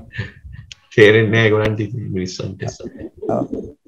අපි දන්නේ ප්‍රශ්න තියෙනවා දන්නේ නැහැ ස්වාමීන් වහන්සේ නැත්නම් අදහස් මොනවද ඉදිරිපත් කරන්න ඔව්. අහන්න තියෙනවා අහන්න අහන්න ඕන දෙයක් අහන්න. අහලා දැනගන්න. දැනගෙන ඉතින් තමන් මේක පරීක්ෂා කරලා බලන්නකෝ. පරීක්ෂා කරන්න. අපි කියන්නේ මේ අපි කියන්නේ අපි කියන දේ පිළිගන්න කියලා අපි කියන්නේ. බුදුරජාණන් වහන්සේ කිව්වෙත් නෑ. පරීක්ෂා කරලා බලන්න. හොඳද මේක හරිද හොඳද නිවැරදිද කියලා තමන් බුද්ධියෙන් පරීක්ෂා කරන්නකෝ. එතකොට දැන් තමන්ට තේරෙනවා. තමන්ට වැටෙනවා. ඔව් කියන්නේ. ගෞරවනීය ස්වාමින් වහන්සේ. නිරෝධ සමාපත්තියේදී කාය සංස්කාර වචී සංස්කාර මනෝ සංස්කාර සම්පූර්ණයෙන්ම සංසිඳීමක්ද සිද්ධ වන්නේ නැත්නම් නිරුද්ධ වීමක්ද නිරුද්ධයි. නිරුද්ධයි. එතකොට ස්වාමීන් වහන්සේ- සංස්කාර, චිත්ත සංස්කාර කියන සියලු සංස්කාරයන් නිරුද්ධයි. ආයශය උස්නේ තියෙනවා. ආයශය උස්නේ තියෙනවා නම් ජීවිතය පවතිනවා. එතකොට ස්වාමින් වහන්සේ ආශ්වාස ප්‍රශ්වාස කරනවද ආස්වාද ප්‍රාස නවතිනවා. ආස්වාද ප්‍රාසස නවතිනවා. කාය සංස්කාර කියන්නේ ආස්වාද ප්‍රාසස. ඔයමයි එතකොට සම්පූර්ණයෙන් මේ තුනම නවතිනවද නවතුනාම උෂ්ණත්වයත් එතකොට රඳා පවතින්නේ කොහොමද ආශ්වාස ප්‍රශ්වාස නැවතුනාම උස්නේ පවතිනවා. ඒක තමයි කර්මය කියන්නේ. ඒකට අදාළ කර්මයනේ කළා තියෙන්නේ. නිරෝධ සමාපත්තිය කියන්නේ යම් කර්මයක්. තේරෙනවද? එතන ක්‍රියාවක් නේ තියෙන්නේ.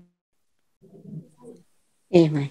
ඒ අදිෂ්ඨාන කරලා එහෙම භාවනා කරනකොට ඒක සියල්ල නිරුද්ධයි. නිරෝධ කියන්නේ ඒක සියල්ල නිරුද්ධයි. නිරෝධ සමාපත්තිය. එතකොට ස්වාමින් වහන්සේ ඕක සිදුවන්නේ අටවෙනි ධ්‍යානයත් පහු කළ ගියාමද ඔය தත්ත්වයටපත් වන්නේ. ඔව් අෂ්ට සමාපatti උපදවන්න ඕනේ. අනාගාමි පුජලන්ට පුළුවන්. රතනසට කියන්නේ රූපාවචර ධ්‍යාන හතර හා අරූපාවචර ධ්‍යාන හතර. ඒකට තමයි අට අෂ්ට සමාපatti කියන්නේ. ඒතර මේ අට උපදවපු අයට පුළුවන් නිරෝධ සමාපත්තියට සමවදින්න. හැබැයි සෝවාන් සකෘදාගමයට බෑ. අනා රහත්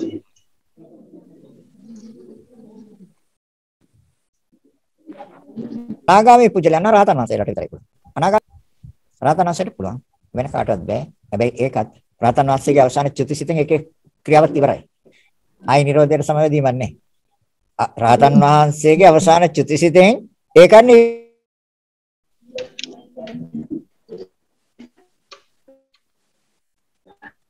නිරෝධයි.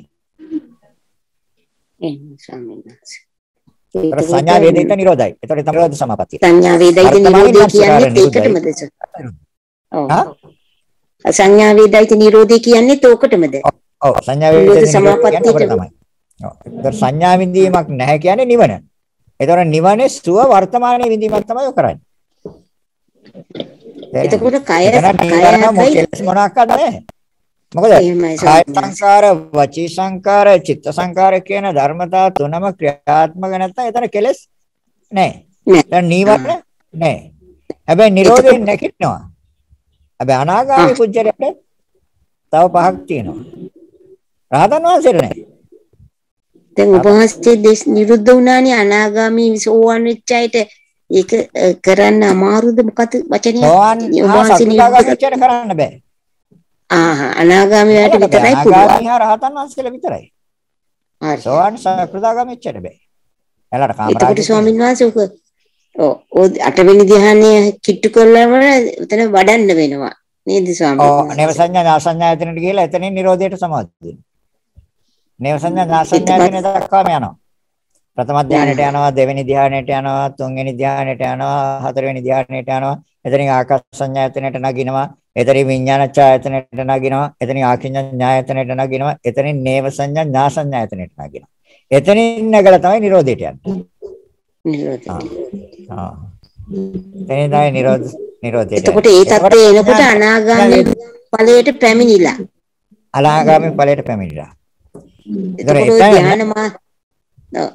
එතකොට ස්වාමින් වහන්සේ ඔය අවස්ථාවේදී එතකොට මේ ශරීරයේ දැන් අපි භාවනා වඩන්නේ ඊට කලින් අර අනිච්ච දුක්ඛ අනාත්ම එතකොට අවබෝධ වෙලාද එහෙම යන්නේ ඔව් අනිවාර්ය වීමක් සිද්ධ. වෙන්න ඕන නේද ස්වාමීන් වහන්සේ? අනාගාමී වෙන්න බෑනේ අනිත්‍ය දුක්ඛ අනාත්ම වශයෙන් අවබෝධ වෙලා නැත්නම් කොහොමද අනාගාමී වෙන්නේ ආ ඒක ඒක හරි. ඔව් ඔව් ස්වාමීන් වහන්සේ. විදර්ශනා වඩලා නැතුව අනාගාමී වෙන්නේ ඔව් ඔව් ඔව් ඔව්. විදර්ශනාවෙන් තමයි අධිගමයන්ට එන්නේ විදර්ශනාවෙන්. ඒතර හේතුඵල දකිනවා කියන්නේ විපස්සනා සමාධිටි. සම්මා. ඒතර සෝවාන්. හරිද? ඒතර සකෘදාගාමී කියන්නේ කාමරාග පටික තුන්නේ. ඒතර එතන එත- එහෙනම් ඒතර ඒතර එතන කෙලස් ඒතර කාමරාගයේ පටිකය තුනී සකෘදාගාමී මාර්ගයේදී අනාගාමී ඵලයේදී කාමරාගයේ පටිකය අවසන්. ඒතර සංයෝජන පහක් අවසන්. ඒ කියන්නේ ඕරම් භාග්‍ය සංයෝජන. ඕරම් ඕනම්. ඔව් උද්දම් භාගයේ සංයෝජන පහක් තියෙනවා. හැබැයි රහතන් වහන්සේට එකක් නැහැ. අනාගාමී පුජ්‍යලට එක තියෙනවා. හැබැයි එයා එයා යනවා නිරසංජ ඥාසංජායතනෙ දක්වා යනවා එයා. ධ්‍යානෙ ධ්‍යාන මට්ටමින් එතනට ගිහිල්ලා එතනින් නිරෝධයට නගිනවා. තේරෙනවද? රහතන් වහන්සේ තේරෙනවා. හොඳයි ස්වාමීන් වහන්සේ වහන්සේ. සාදු සාදු. හරි. තිරුවන් සරණයි. වැටුණා ස්වාමීන් වහන්සේ හොඳට. මම ගැට ගැටලුවක් වශයෙන් තිබුණේ තිරුවන්. සරණයි වහන්සේට. ස්වාමීන් ඒ අවස්ථාවේ විඥාණයට මොකද වෙන්නේ ස්වාමීන් ඒ විඥානය නිරුද්ධයි නේ. ආස්වාස ප්‍රාස්වාස නිරුද්ධයි. තර වචී සංකාර නිරුද්ධයි, චිත්ත සංකාරය නිරුද්ධයි. හැබැයි ආයශයයි උස්නේයි තියෙනවා. ඉතින් ඒකනේ අර පිදුරු ටිකකින් වහලා දාලා මේ හාමුදුරුව අපවත් වෙලා කියලා පිදුරු ගෙනෙල්ලා අර කමතෙදිච්ච පිදුරු ටික ඔක්කොම ගෙනලා හාමුදුරන් එහෙම පිටින්ම අ, සම්පූර්ණයෙන් වහලා දාලා ගින්දර තියලා ගියා යන්න. අනේ පව් හාමුදුරුව අපවත් වෙලා දන්නේ නැහැ. මේ ඒ ඉතින් අ, මුකුත් නැහෙනි ආස්වාස ප්‍රාස්වාසත් නැහැ. කිසි දෙයක් නැහෙනි. ඉතින් අර ළමයි ටික කිව්වා අනේ හාමුදුරුව අපවත් වෙලා කියලා. එහෙනම් මේ පුච්චලා දාමු කියලා දැන් පිදුරු ගෙනලා පුච්චලා දැන්. දැන් හාමුදුරුව පිච්චුණාද? නෑ. ඇයි? ආයශය උස්නේ තියෙන එතන. ඒ කියන්නේ ප්‍රවෘත්තියක් තියෙනවා. ඒතර පිදුරු ටික ගෙනියන්න ආවුරු එහෙම ඉන්නවා. එහෙම ඉන්න. දැන් මේවා සමහර අයට කිව්වම විශ්වාස කරන්න ඒකයි වෙලා තියෙන්නේ. ඕවන බොරුද පිදුරු දාලා ගිනි තිබ්බනම් මැරෙනවා අනිවාර්යෙන් කතා කරයි කොහොමද? තේරෙනවද? ඒකයි දික්ටි වලින් ගලවන එක හරි අමාරුයි නේ. ලේසි නෑ දික්ටි වලින්. ස්වර්ණාසිතන මරණයටපත් වුණා කියන්නේ ආයුෂයි උෂ්ණයයි එතකොට විඥානයයි තුනම නැති වුණාමනේ ස්වර්ණාංශ දැන් ওই අවස්ථාවේදී ඉතින් දෙකක් තියෙනවනේ එතන. ආයශය උස්නේ තියෙනවනේ. ආ, එහෙම හැබැයි අසඤ්ඤතලේ දැන් අසඤ්ඤතලේ මොකක්ද තියෙන්නේ එතකොට? විඥානේ නෑ. හැබැයි එතනත් ආයශය උස්නේ තියෙනවා. රූපය කර්මවාසීකට ආයශය තියෙනවනේ එතන. තියෙනව නේද? හ්ම් එහෙමයි ආ, ඒ කියන්නේ. එතන එතන විඥානේ නෑ. අනේ සත්‍යය. පැහැදිලි ස්වාමීන්. සාම. තිරුවන් සරණයි. ආ. සාදු සාදු. ස්වර්ණාංශ මේ අද අද දේශනාවේ අපි අවිද්‍යා සූත්‍රයේ මේ ඇත්ත වශයෙන්ම ස්වර්ණ අවිද්‍යාව නිරෝධා විද්‍යාව උපදිනවනේ ස්වර්ණාංශ ඒ විද්‍යාව උපදිනවමයි කියන්නේ මේ අරමුණු වල ආයතන වලින් ගන්න අරමුණු වල ඇතිවීම නැතිවීම නුවණින් දැකීමම තමයි නේ ස්වර්ණාංශ ඔව් ඇතිවීම නැතිවීම නුවණින් දකිනවා. ඒතකොට අරමුණ අපි මේ අරමුණේ වැරදි ආකාරයට දකින්නේ අරමුණ නිවැරදි ආකාරයට දකිනවා. අරමුණේ සමාධි මුල වෙන්නේ රැවටෙන්නේ. රැවටෙන්නේ සමාධිත්‍ය ඔව් සමාධිත්‍ය කියන්නේ අරමුණේ රැවටීමනේ මොහය කියන්නේ. ඒතර අරමුණේ රැවටෙන්නේ නැහනේ. එයා දන්නා ඒතර මේක කොහොමද සිද්ධ වෙන්නේ? මේක ආයශය කොහොමද? මේක කොතනද නිරුද්ධ වෙන්නේ? මොන අයින් කළොත්ද මේක නැති වෙන්නේ? කියන්නේ කෑ නිවැරදිව දැනගෙන නිවැරදිව දැකගෙන තියෙනවා. හිතන්නේ ස්වාමීන් ප්‍රශ්නයක් තියෙනවා සුගන්ධි රූපසිංහ අත්- උස්සලා තියෙනවා ඔබතුමීට ප්‍රශ්නයක් තියෙනවද ආන්න කියන්නේ. නෑ ස්වාමීන් වහන්සේ සමින්හස මෙතනදී අපිට වෙනින්නේ සිත් පෙරලි සැකසීන ආකාරයත් මෙම සිත් පෙරලි විය කියන ආකාරයත් හේතුඵල ධර්මානුකූලව අවබෝධයට ලැබීමක් නිසා හේතුඵල ධර්මයට අනුව අවබෝධ වීම තමයි ඇතිවීම නැතිවීම. හටගෙන බිඳෙනවා. ඉපද නැති වෙනවා. උදය වේය. ආ. එතකොට ඒ උදය වේය කියන එක තුළ සිත රඳවන්නත් බෑ. ඒ තරම්ම කෙටි කාලයක් තුළ තමයි උදය වේය. අල්ලන්නත් බෑ. ඒ තරම්ම වේගයෙන් සිද්ධ වෙනවා. ඒ තමයි අනිත්‍ය. එතකොට තමයි අනිත්‍ය දර්ශනය වෙන්නේ. ඒ එහෙම දෙයක් නම් තියෙන්නේ එතන සැපක් වෙන්න බෑනේ කවදාවත්. එතන තියෙන දුක. ඒතර තමාගේ වශයෙන් පවත්වන්න බෑනේ මේක. තමාට ඕන විදිහට තියාගන්න බෑ.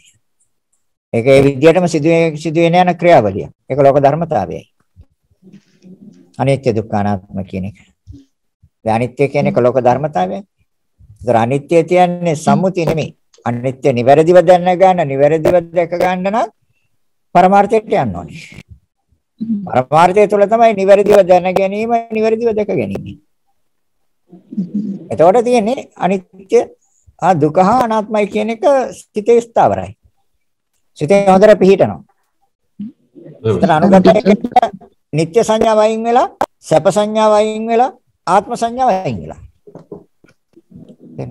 මම කියන සංඥාව සාමුලින් අයින් වෙලා. මගේ කියන අයිතිවාසිකම් කියන සියලු සංඥාවල් අයින් වෙනවා. ඒක දකින්නේ ක්‍රියා දෙකක්.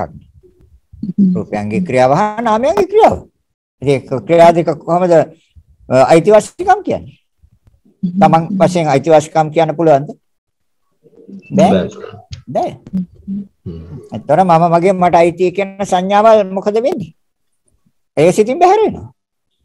ඒ එතකොට අවබෝධය. ඒ කියන්නේ අවිද්‍යාව දුර වෙලා විද්‍යාව උපදිනවා. උපදිනවා. චිත්ත විපර්යාස හමුවේ අකම්පිතව සිටින්න පුළුවන් හැකියාවක් තියෙනවා නේද? ඔව් අවසානයේ ඉතින් අකම්පිත සිතක්. අෂ්ටලෝක ධර්මයේ කෙරේ. කම්පිත නැහැ. කම්පා වෙන්නේ. සැලෙන්නේ. බය වෙන්නේ තැති ගැනීම නෑ. ඒකනේ රහතන් වහන්සේට බය නැහැ කිව්වේ. රහතන් වහන්සේට හීන පේන්නේ නැහැ කියලා තියෙනවා නේද? ඇයි? ඇයි හීන පේන්නේ නැත්තේ? සංඥා නිරෝධින්දා. සංඥාවෙන් අරගෙන තමයි මනස තැන්පත් කරගෙන තියෙන ඒවා තමයි රැයට පේන්නේ. සංඥා නිරෝධයිනේ රහතන් වහන්සේට. එතකොට දැන් ක්‍රියාවන් ක්‍රියාවල් තුළ හීන දකින්න පුළුවන්ද? සම්මුතියෙන් තමයි හීන වෙන්නේ. සම්මුතිය අනුගත වෙලා තියෙනකට හීන වෙන්නේ. පරමාර්ථය අනුගත කරලා බලන්න හීන පෙනේද කියලා. පෙනේද හීන? නෑ. ආ? හීන වෙන්නේ. ඒතර රහතනසෙන් හීන වෙන්නේ නැහැ කියන්නේ. රැස් කරගත්ත දේවල්. සංඥාව නිරුද්ධ කළා. සංඥා උපාදානිකුත් නැහැ ඉතින්. සංඥාවෙන් ගන්න නැත්නම් උපාදාන කරන් ඉන්නේ. ඒතර සංඥාව කියන්නේ සතර මහා ධාතුන්ගේ ක්‍රියාව වර්ණ ගන්නලානේ තියෙන්නේ. පාට කරලානේ තියෙන්නේ. හ්ම්. එහෙම නෙමෙයිද තියෙන්නේ? එහෙමනේ තියෙන්නේ. ඉතින් එතකොට ඒ සංඥාව නිරුද්ධ කරපුවාම ඉතින් රැයට හීන පෙන්නේ. ඒ තමයි රහතන් වහන්සේ සුවසේ නිදා ගන්නවා කියන්නේ. සුවසේ නිදා ගන්නවා. ස්වාමීන් ඔය හේතු ප්‍රත්‍යයෙන් ඔබ දකින්නකොට ත්‍රිලක්ෂණය අ, නිකම්ම කියන්නේ අපිට ත්‍රිලක්ෂණයම තමයි දකින්නේ ඔය. අනිත්‍ය දුක්ඛ අනාත්මය. ඔව්. අනිත්‍ය වශයෙන්. දුක්ඛ වශයෙන් අනාත්ම වශයෙන්. එතකොට ඉතින් පරමාර්ථය විද්‍යාමාන වෙලා. ඒතර සම්මුතිය අවිද්‍යාමාන.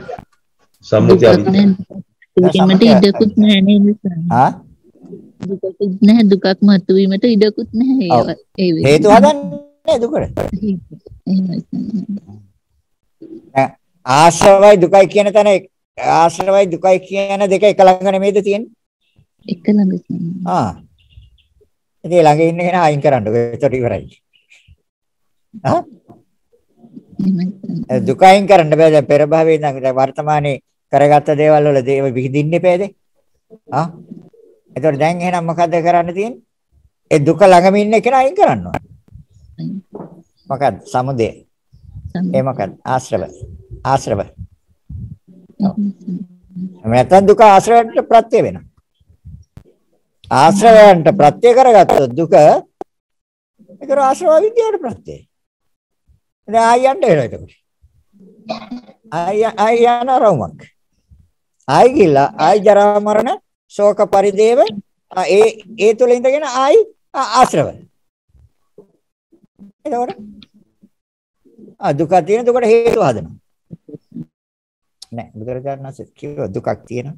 එන හේතුවක් තියෙනවා. හේතුව අහකට ගන්නකො. ඒ කියන්නේ සමුදය අහකට ගන්න. ඒ තමයි 108 ආකාරයේ තෘෂ්ණාවගේ අවසානයේ නිවන කිව්වේ ඒකයි. ඒ කියන්නේ ආශ්‍රව ආශ්‍රව කියන්නේ චන්දරාගය. චන්දරාගය කියන්නේ තෘෂ්ණාව. අනිත් පැත්තෙන් ස්වාමීන් සලායතන නිරෝධය. වෙන්නේ. සලආයතන නිරෝධයි. ඔව්. නාම රූප නිරෝධයි. සලආයතන නිරෝධයි. හ්ම්.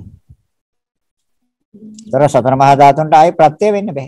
වෙන්නේ නැහැ ස්වාමීන්. කර්ම හේතු කර්ම නැහැනේ. එයාට ප්‍රත්‍ය වෙන්නේ. තේරෙනවද?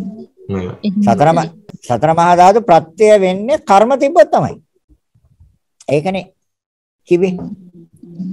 ප්‍රත්‍යයන් එක්ව කළ චේතනාවෙන් පිළියෙල කළ. දර ප්‍රත්‍යයන් එක්ව. දර ප්‍රත්‍ය කිව්වේ උපකාරය. ඒ මහ භූත. එතකොට චේතනාවෙන් පිළියෙල කළේ. එහෙම මොනවා කියන්නේ? අඩු වැඩි හත් දානවා. ඒතර ඒකට අඩු වැඩි කර්මයයි. චේතනාවෙන් පිළියෙල කරේ. කර්මශය වෙන්නේ උතන. අනේ කර්මශය කරනවා. කර්මශය වෙනවා. පැහැදිලි. පැහැදිලි ස්වාමීන්. හොඳයි හම්බුනේ. ආ මම හිතන්නේ ස්වාමීන් ප්‍රශ්න තියෙනවද තව කාටවත් කතා කරන්න? අවසර අවසර අවසරයි ස්වාමීන් වහන්සේ පොඩි ප්‍රශ්නයක් තියෙනවා දැනගන්න. මේ දැන් සිතක් හැදෙනකොට චිත්තස්සන හතක් වැය වෙනවා කියලා ස්වාමීන් වහන්සේ අ, බුදුහාමුදුරුවෝ දේශනා කළා තිනවා. ඒකෙන් පළවෙනි සිත හැදිලා නැති වෙනව හැදිච්ච ගාම එක චිත්තස්සනේදී ඒ විදිහට සිත් පහක් හැදිලා අ, හයවෙනි සිතයි හත්වෙනි සිතයිදී තද ආරම්මන විදිහට අල්ල ගන්නවා. ඒ- එහෙම නේද ස්වාමීන් වහන්සේ ඒක?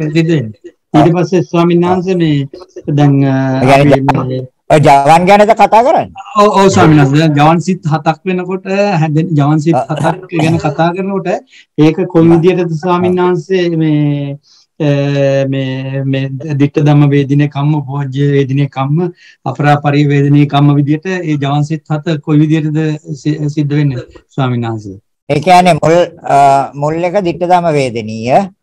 එහෙම ස්වාමීන් එතකොට මැද ටික උපපජ්ජ වේදනීය. අපරාපරිය වේදනීය අවසාන ටික. අවසන් සිත මුල් ටික dittadama වේදිනී. ඔව්, හ්ම්. අවසාන ටික අපරාපරිය. උපපජ්ජ වේදනීය කියන්නේ මැද ටික. එත- එතකොට මේ මේ. සම්පූර්ණ ඒ ජවන් සිත් හත සිද්ධ වෙන්න කොච්චර චිත්තස්සන ගානක් වැය වෙනවද ස්වාමීන් වහන්සේ ඔය ඉතින් ජවන් හත කියන්නේ සිත හතක් නේ හටගන්නේ. එතන 17න් සිත හත. ඔය ජවන් හත කියන්නේ එතකොට අරමුණ හොඳට අරගෙන ඉවරයි. ඒ කියන්නේ භවංග චලන භවංග පච්ඡේද පංචත්තාවර්ජන චක්කු විඥාන කියන චක්කු විඥාන. ඒතර සම්පටිච්ඡන. ඒතර අරමුණ පිළිගන්නවනේ. සම්තීරණ කියන්නේ තීරණය කරනවා.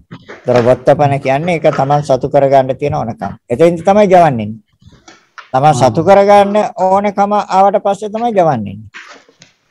එතකොටනේ සිත බලවත් වෙන්නේ. තමන් සතු කරගන්න ඕන සදාරම්මන දෙකක් කියලා කියන්නේ ඒ වෙලාවේ ඔව් එතකොටම තදාරම්මන දෙකකට යනවා මොකද තමන් සතු කරගන්න තියෙන. වත්තපන කිර කියන්නේ ඒක මට හොඳයි කියන එක. නිශ්චය කරනවා. ඒතර තීරණ තීරණය කරනවා. ඒක හරි. ඒක හොඳයි. ඒක ඒකේ ගුණයන් ගැන කතා කරනවා. ඒතර සම්තීරණ. සම්පටිච්ඡන කියන්නේ පිළිගන්න. ඒතර පිළිගත්තේ තෘෂ්ණාවෙන්. ඒතර ඒතර තෘෂ්ණාව එතන පටන් ගන්නවා. පිළිගන්නකොටම තණ්හාව. ඒතර තීරණය කරනවා. ආ හරි. ඒක හොඳයි. ඊට පස්සේ ඒක Taman සතු කරගන්න. වත්තපන නිශ්චය කරනවා. එතකොට එතකොට සිත් හට ගන්නවා. ජවන් හතක්. එතකොට අරමුණ තදින් අර ගන්නවා. එතකොටනේ Tamanට ඕන වෙන්නේ. තේරෙනවද? තේරුණා එතකොට තමයි Tamanට ඕන වෙන්නේ. Taman සතු කරගන්න. Taman සතු කරගන්නකොට තෘෂ්ණාව උපාදානයට ගිහිල්ලා කෙලෙස් ඇති වෙනවා. කෙලස් ඇතිලා. තර තණ්හා උපාදානයට ගිහින් ඉවරයි. තණ්හා පච්චය උපාදාන. එන උපාදාන පච්චය භව. භව පච්චය ජාති. ජාති පච්චය තේරුණා ස්වාමීන් වහන්සේ පැහැදිලි තෙරුවන් සරණ ස්වාමීන් වහන්සේ. හොඳයි තේරුණා. ස්වාමීන් මරණාසන්න චිත්ත වීතියේදී අ, ජවන් සිත් පහයිනේ. ඔව් දාන්සිත පහයි. ඒ කියන්නේ සිත දුර්වලයි. සිත දුර්වලයි. ඒ නිසා ජවන් පහයි. හැබැයි ඉතින් අර මරණසන්න මොහොතේදී ඒ වාවට කලින් බලවත් වෙලා තියෙනවා. කලින් දැන් ජවන් හතම අරගෙන තදාරම්මන දෙකත් අරගෙන හදාගත්ත කර්ම තියෙනවනේ අතීතේ. කර්ම පත බවට පත් කරගත්ත ඒවා. ආහා, ස්වාමී. ඒවද අර ගති නිමිති කර්ම කර්ම ගති ගති නිමිති කියන්නේ ඒවටද? කර්මයක් කර්ම නිමිති ගති නිමිති. ගති නිමිති කියන්නේ ඊගව භවය දර්ශනය වීම. ගති නිමිති කියන්නේ කර්මය කර්ම නිමිති කියන්නේ වර්තමානයේ කරගත්ත ක්‍රියාව හෝ ඒ ක්‍රියාවට උපකාර වෙච්ච උපකරණ. උපකරණ වලට තමයි නිමිතිත් කියන්නේ. ඔව්. කර්මය කියන්නේ කරගත්ත ක්‍රියාව. දැන් ප්‍රාණඝාතයේ ක්‍රියාවක්. අනුපතේ. අදත්තාදානේ ක්‍රියාවක්. ක්‍රියාවක්නේ. එතකොට එතන කර්මයක්. එතකොට ඒ ක්‍රියාව මතක් වෙන්නේ. ඒ ක්‍රියාව කරන්න උපකරණයක් ඕනේ. තේරුණාද? දැන් යම් කිසි දෙයක් ප්‍රාණඝාතයක් කරන්න නම් පොල්ලක් හරි මොකක් හරි යකඩයක් හරි තුවක්කුවක් හරි එන මොකක් හරි උපකාරය. ඒතකොට උපකරණය මතක් වෙනවා. කර්ම නිමිති.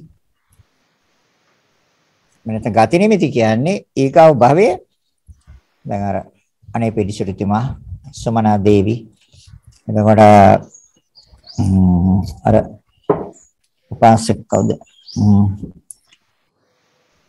දැන් දන්නවනේ දැන් හිටියන්නේ නේද එයාලා එතකොට ගති නිමිති.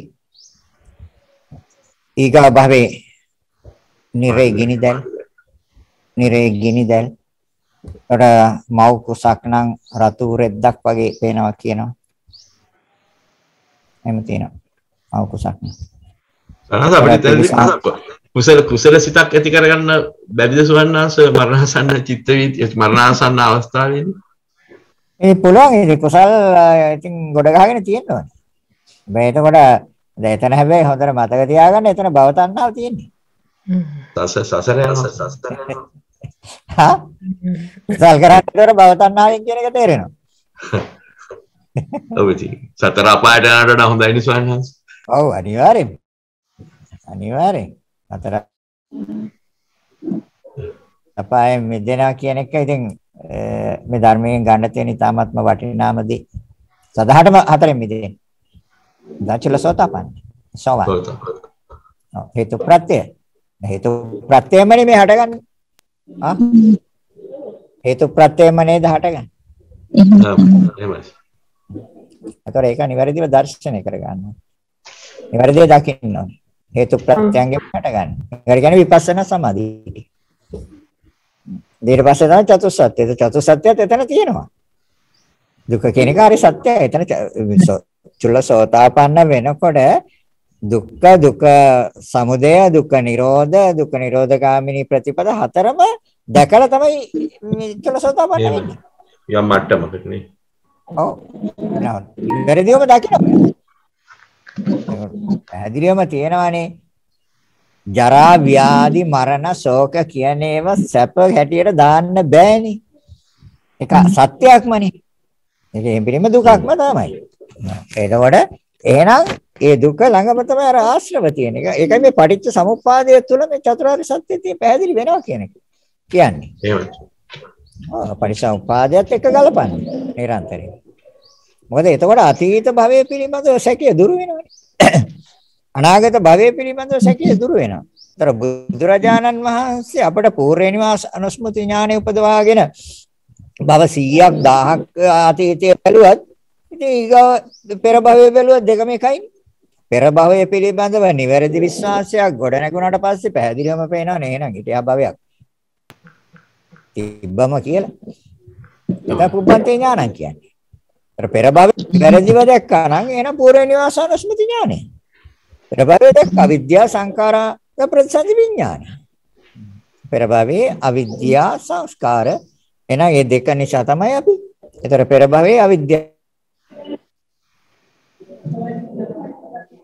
ත්‍යාවට හේතු ආශ්‍රව. එහෙනම් අපිට අතීත පුබ්බන්තේ ඥාන. එහෙනම් අපිට එතනින් එහාට භවයකට ආය යන්න ඕනේ. බුදුරජාණන් වහන්සේ දේශනා කරන එක ආය එතනින් එහාට බැලුවොත් ඒ ටිකම තමයි දකින්න වෙන්නේ. ආශ්‍රව නිසා ආශ්‍රව අවිද්‍යාවට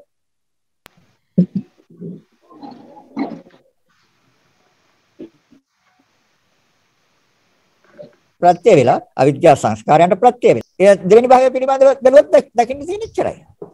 ඊට පිට භාවය බැලුවොත් ඒ දකින්න තියෙන ඒ ස්වභාවය. කියන එක බලලා සාතික කරගත්තා නැතිනේ. කාලේ නාස්ති කරන්නේ නැතු නේද?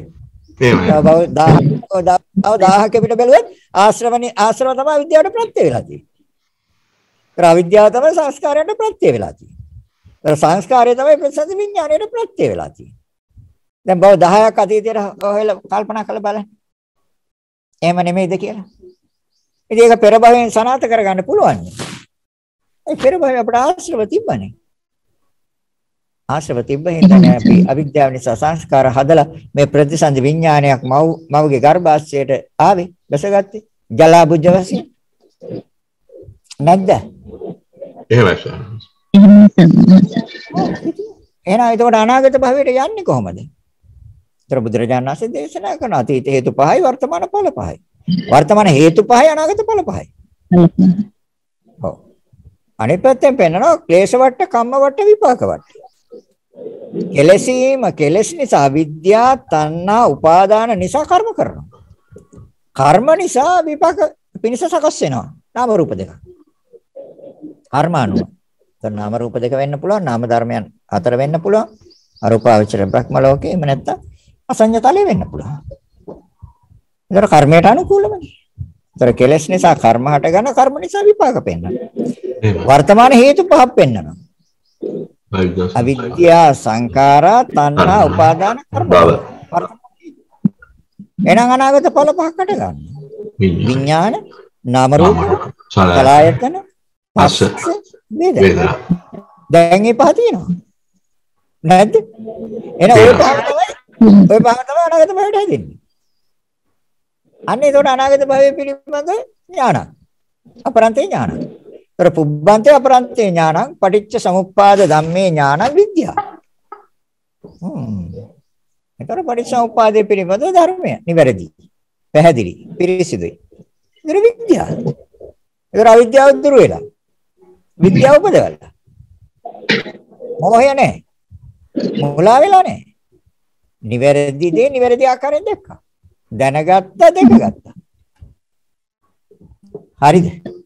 හරි මෙතනදි සිද්ධ වෙන්නේ ස්වාමීන් වහන්සේ නැති දෙයක් ඇති විදියට දර්ශනය වෙමින් මේ ශුන්්‍යතාවය පේන්නේ නැතුව අවිද්‍යාව නිසා ඒ විදිහටම යන එක තමයි අරමුණේ රැවටෙනවා.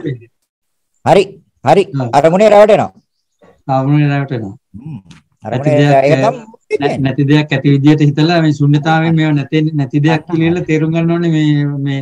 මේ සතර මහා භූතය හතර දෙනෙක්ගෙන් කරන ක්‍රියාවලියක් සිද්ධ වෙන කියලා නාම රූප ක්‍රියාවලියක් කියලා. අනිවාර්යයෙන්. ඒකනේ බුදුරජාණන් වහන්සේ අනිත්‍ය වශයෙන් දකින්න, දුක් වශයෙන් දකින්න, රෝග වශයෙන් දකින්න, තමන්ගේ නොවන දෙයක් හැටියට දකින්න, නැසෙන දෙයක් හැටියට දකින්න, ශුන්‍ය දෙයක් හැටියට දකින්න, අනාත්ම දෙයක් හැටියට දකින්න. දැන් හතම හරිද වැරදිද? එහෙමයි ස්වාමීන් අනිත්‍ය වශයෙන් දකින්න, දුක් වශයෙන් දකින්න, රෝග වශයෙන් දකින්න. තමන්ගේ නොවන දෙයක් හැටියට දකින්න. නැසෙන දෙයක්, විනාශ වෙන දෙයක් හැටියට දකින්න. ශුන්‍ය වූ දෙයක් හැටියට දකින්න, අනාත්ම වූ දෙයක් හැටියට දකින්න. හතම හරිද වැරදිද? හරි ඒ තියෙන අවබෝධය. ඉතින් දැන් අවබෝධ වෙලානේ තියෙන්නේ දාම. ඩාල් බන කියන්නේ මම කියන්නේ ඕනේ නැයිද? එතන නම නවත්තලා දාමු. අපි දුර දුර බැහැර හිටියත් අපි ස්වාමීන් වහන්සේට හුඟක් පිසිද්ද වෙනවා මොකද මේ ස්වාමීන් වහන්සේ සතුටු වෙන්න ඕනේ ලංකාවේ කොච්චර කරදර තියුණත් අපි මේ රටක ඉඳලා ස්වාමීන් වහන්සේව සම්බන්ධ කරගෙන මේ ධර්ම ධර්ම ධර්මය අහලා මේ අපි ලබා ගන්න දැනුමට ඉතින් ස්වාමීන් වහන්සේ නිවන් සප ලැබෙන්න ඕනේ ස්වාමීන් වහන්සේ. හරිද? එහෙනම් සාදු කියලා අනුමෝදන් වෙනවා අපි. එහෙමයි ස්වාමීන් වහන්සේ වහන්සේ. පැය දෙකක් කළා ස්වාමීන් අද අදත් අපිට බොහෝ වටිනා ධර්ම පාරයක් දේශනා කළ ඔබ වහන්සේට බොහෝ පින් කුසලත් වේවා.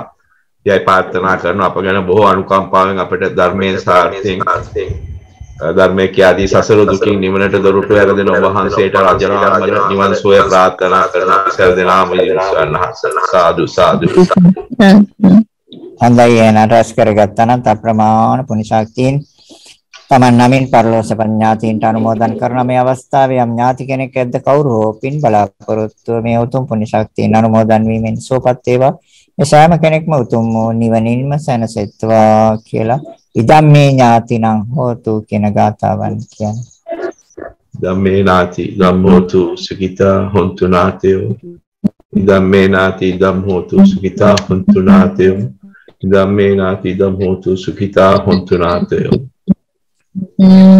අන්ට පින්දෙමු. ආකාශට්ට බුම්මට්ට දේවානාගා මහිත්‍තිකා පුඤ්ඤං Ongyang Namuhita Kirang Rata Sasa Sara Aka Sabda Bumata Dewa Raga Mahindika Ongyang Namuhita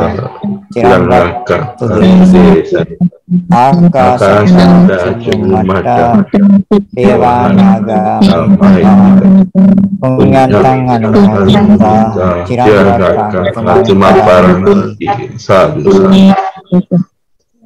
රැස් කරගත්තා නම් අප්‍රමාණ පුණ්‍ය ශක්තියෙන් ඔබ අප සෑම දිනාටම මේ සංසාර දුකෙන් නිදහස් වීම පිණිසම හේතු වාසනා වේවා කියලා හිතාගෙන සාදු කියන්නේ. සෑම දිනාටම ආශිර්වාද කරනවා. අභිවාදන සීලිස නිච්ඡං වත්තාපචායිනෝ චත්තාරෝ ධම්මා වඩ්ඩಂತಿ.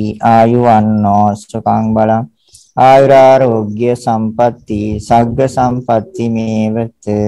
අතෝ නිබ්බාන සම්පatti. ඉමිනාතේ සමිච්ඡතු.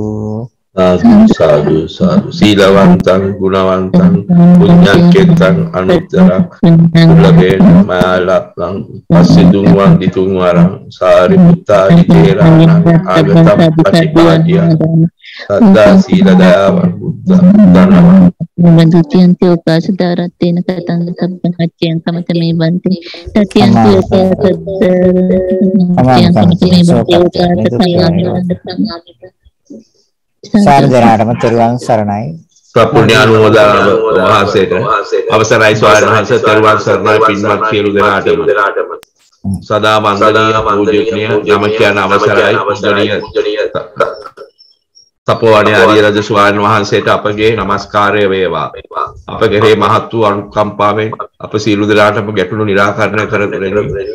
ඊ타මාත්ම කරුණාවෙන් මම ගැඹුරු දහම් කරුණ අප සියලු දෙනාටම වැටහෙන පරිදි දේශනා කරන ඔබ වහන්සේට පාදාර්පි නන්දනා කරන ඥාන මෝදනා කරන මෙම උතුම් ශාසනික මෙහෙවර ඉරත් කාලයක් පහසුවෙන් කරගෙන යාමට ඔබ වහන්සේට අවශ්‍ය නිදුක් නිරෝගී කායික මානසික ස්වභාවය ලැබේවයි අප සියලු දෙනා වෙනුවෙන් ප්‍රාර්ථනා කරනවා වහන්සේට ප්‍රාර්ථනීය භෝගයකින් උතුම් නිර්වාණ අවබෝධය ලැබීමට මෙම ධර්ම දානමය කුසලය හේතු උපනිස්්‍රණය වේවා. තවද ඔබ වහන්සේට ඔබ වහන්සේ මෙලොවට මෙහි කළ හදා වඩා ශාසනයට දායාද කළ පින්වන්ත දෙමව්පියන් වහන්සේලා දෙදෙනාට සහ වහන්සේගේ දේවෝත්තමයන් වහන්සේලාටද මෙම මහානීය ධර්ම දානය කුසල අනුමෝ කුසල අනුමෝදන් කරමි. අනුමෝදන් වේවා. තවද ධර්ම මණ්ඩපයේ දේශනා පටිගත කර අන්තර්ජාලයට පිට කර ඒ බොහෝ දෙනෙකුට ශ්‍රවණය කිරීමට සලස්වන අපගේ කල්යාණ මිත්‍ර නාමල් ප්‍රේමරත්න මහතාටත් එම පවුලේ සියලු දෙනාටම මෙම ධර්ම දානමය මහා කුසලය නිවන් මාර්ගය පූර්ණ කර ගැනීමට හේතු වේවායයි ප්‍රාර්ථනා කරමි. තවද මෙම ධර්ම මණ්ඩපයේ දේශනාවට සම්බන්ධ වූ පින්වත් ඔබ සියලු දෙනාටම ඇතුළු ලෝවාසී සත්‍යයට උතුම් වූ චතුරාර්ය සත්‍ය අවබෝධ වේවායි එක්සිතින් ප්‍රාර්ථනා කරමි. ත්වන් සරණයි දීර්ඝාෂ වේවා ස්වාමීන් වහන්සේ. සෝපත් වේවා. නිදුක් වේවා නිරෝගී වේවා. සෑම දිනාටම තෙරුවන් සරණයි. ත්වන් සරණයි ස්වාමීන්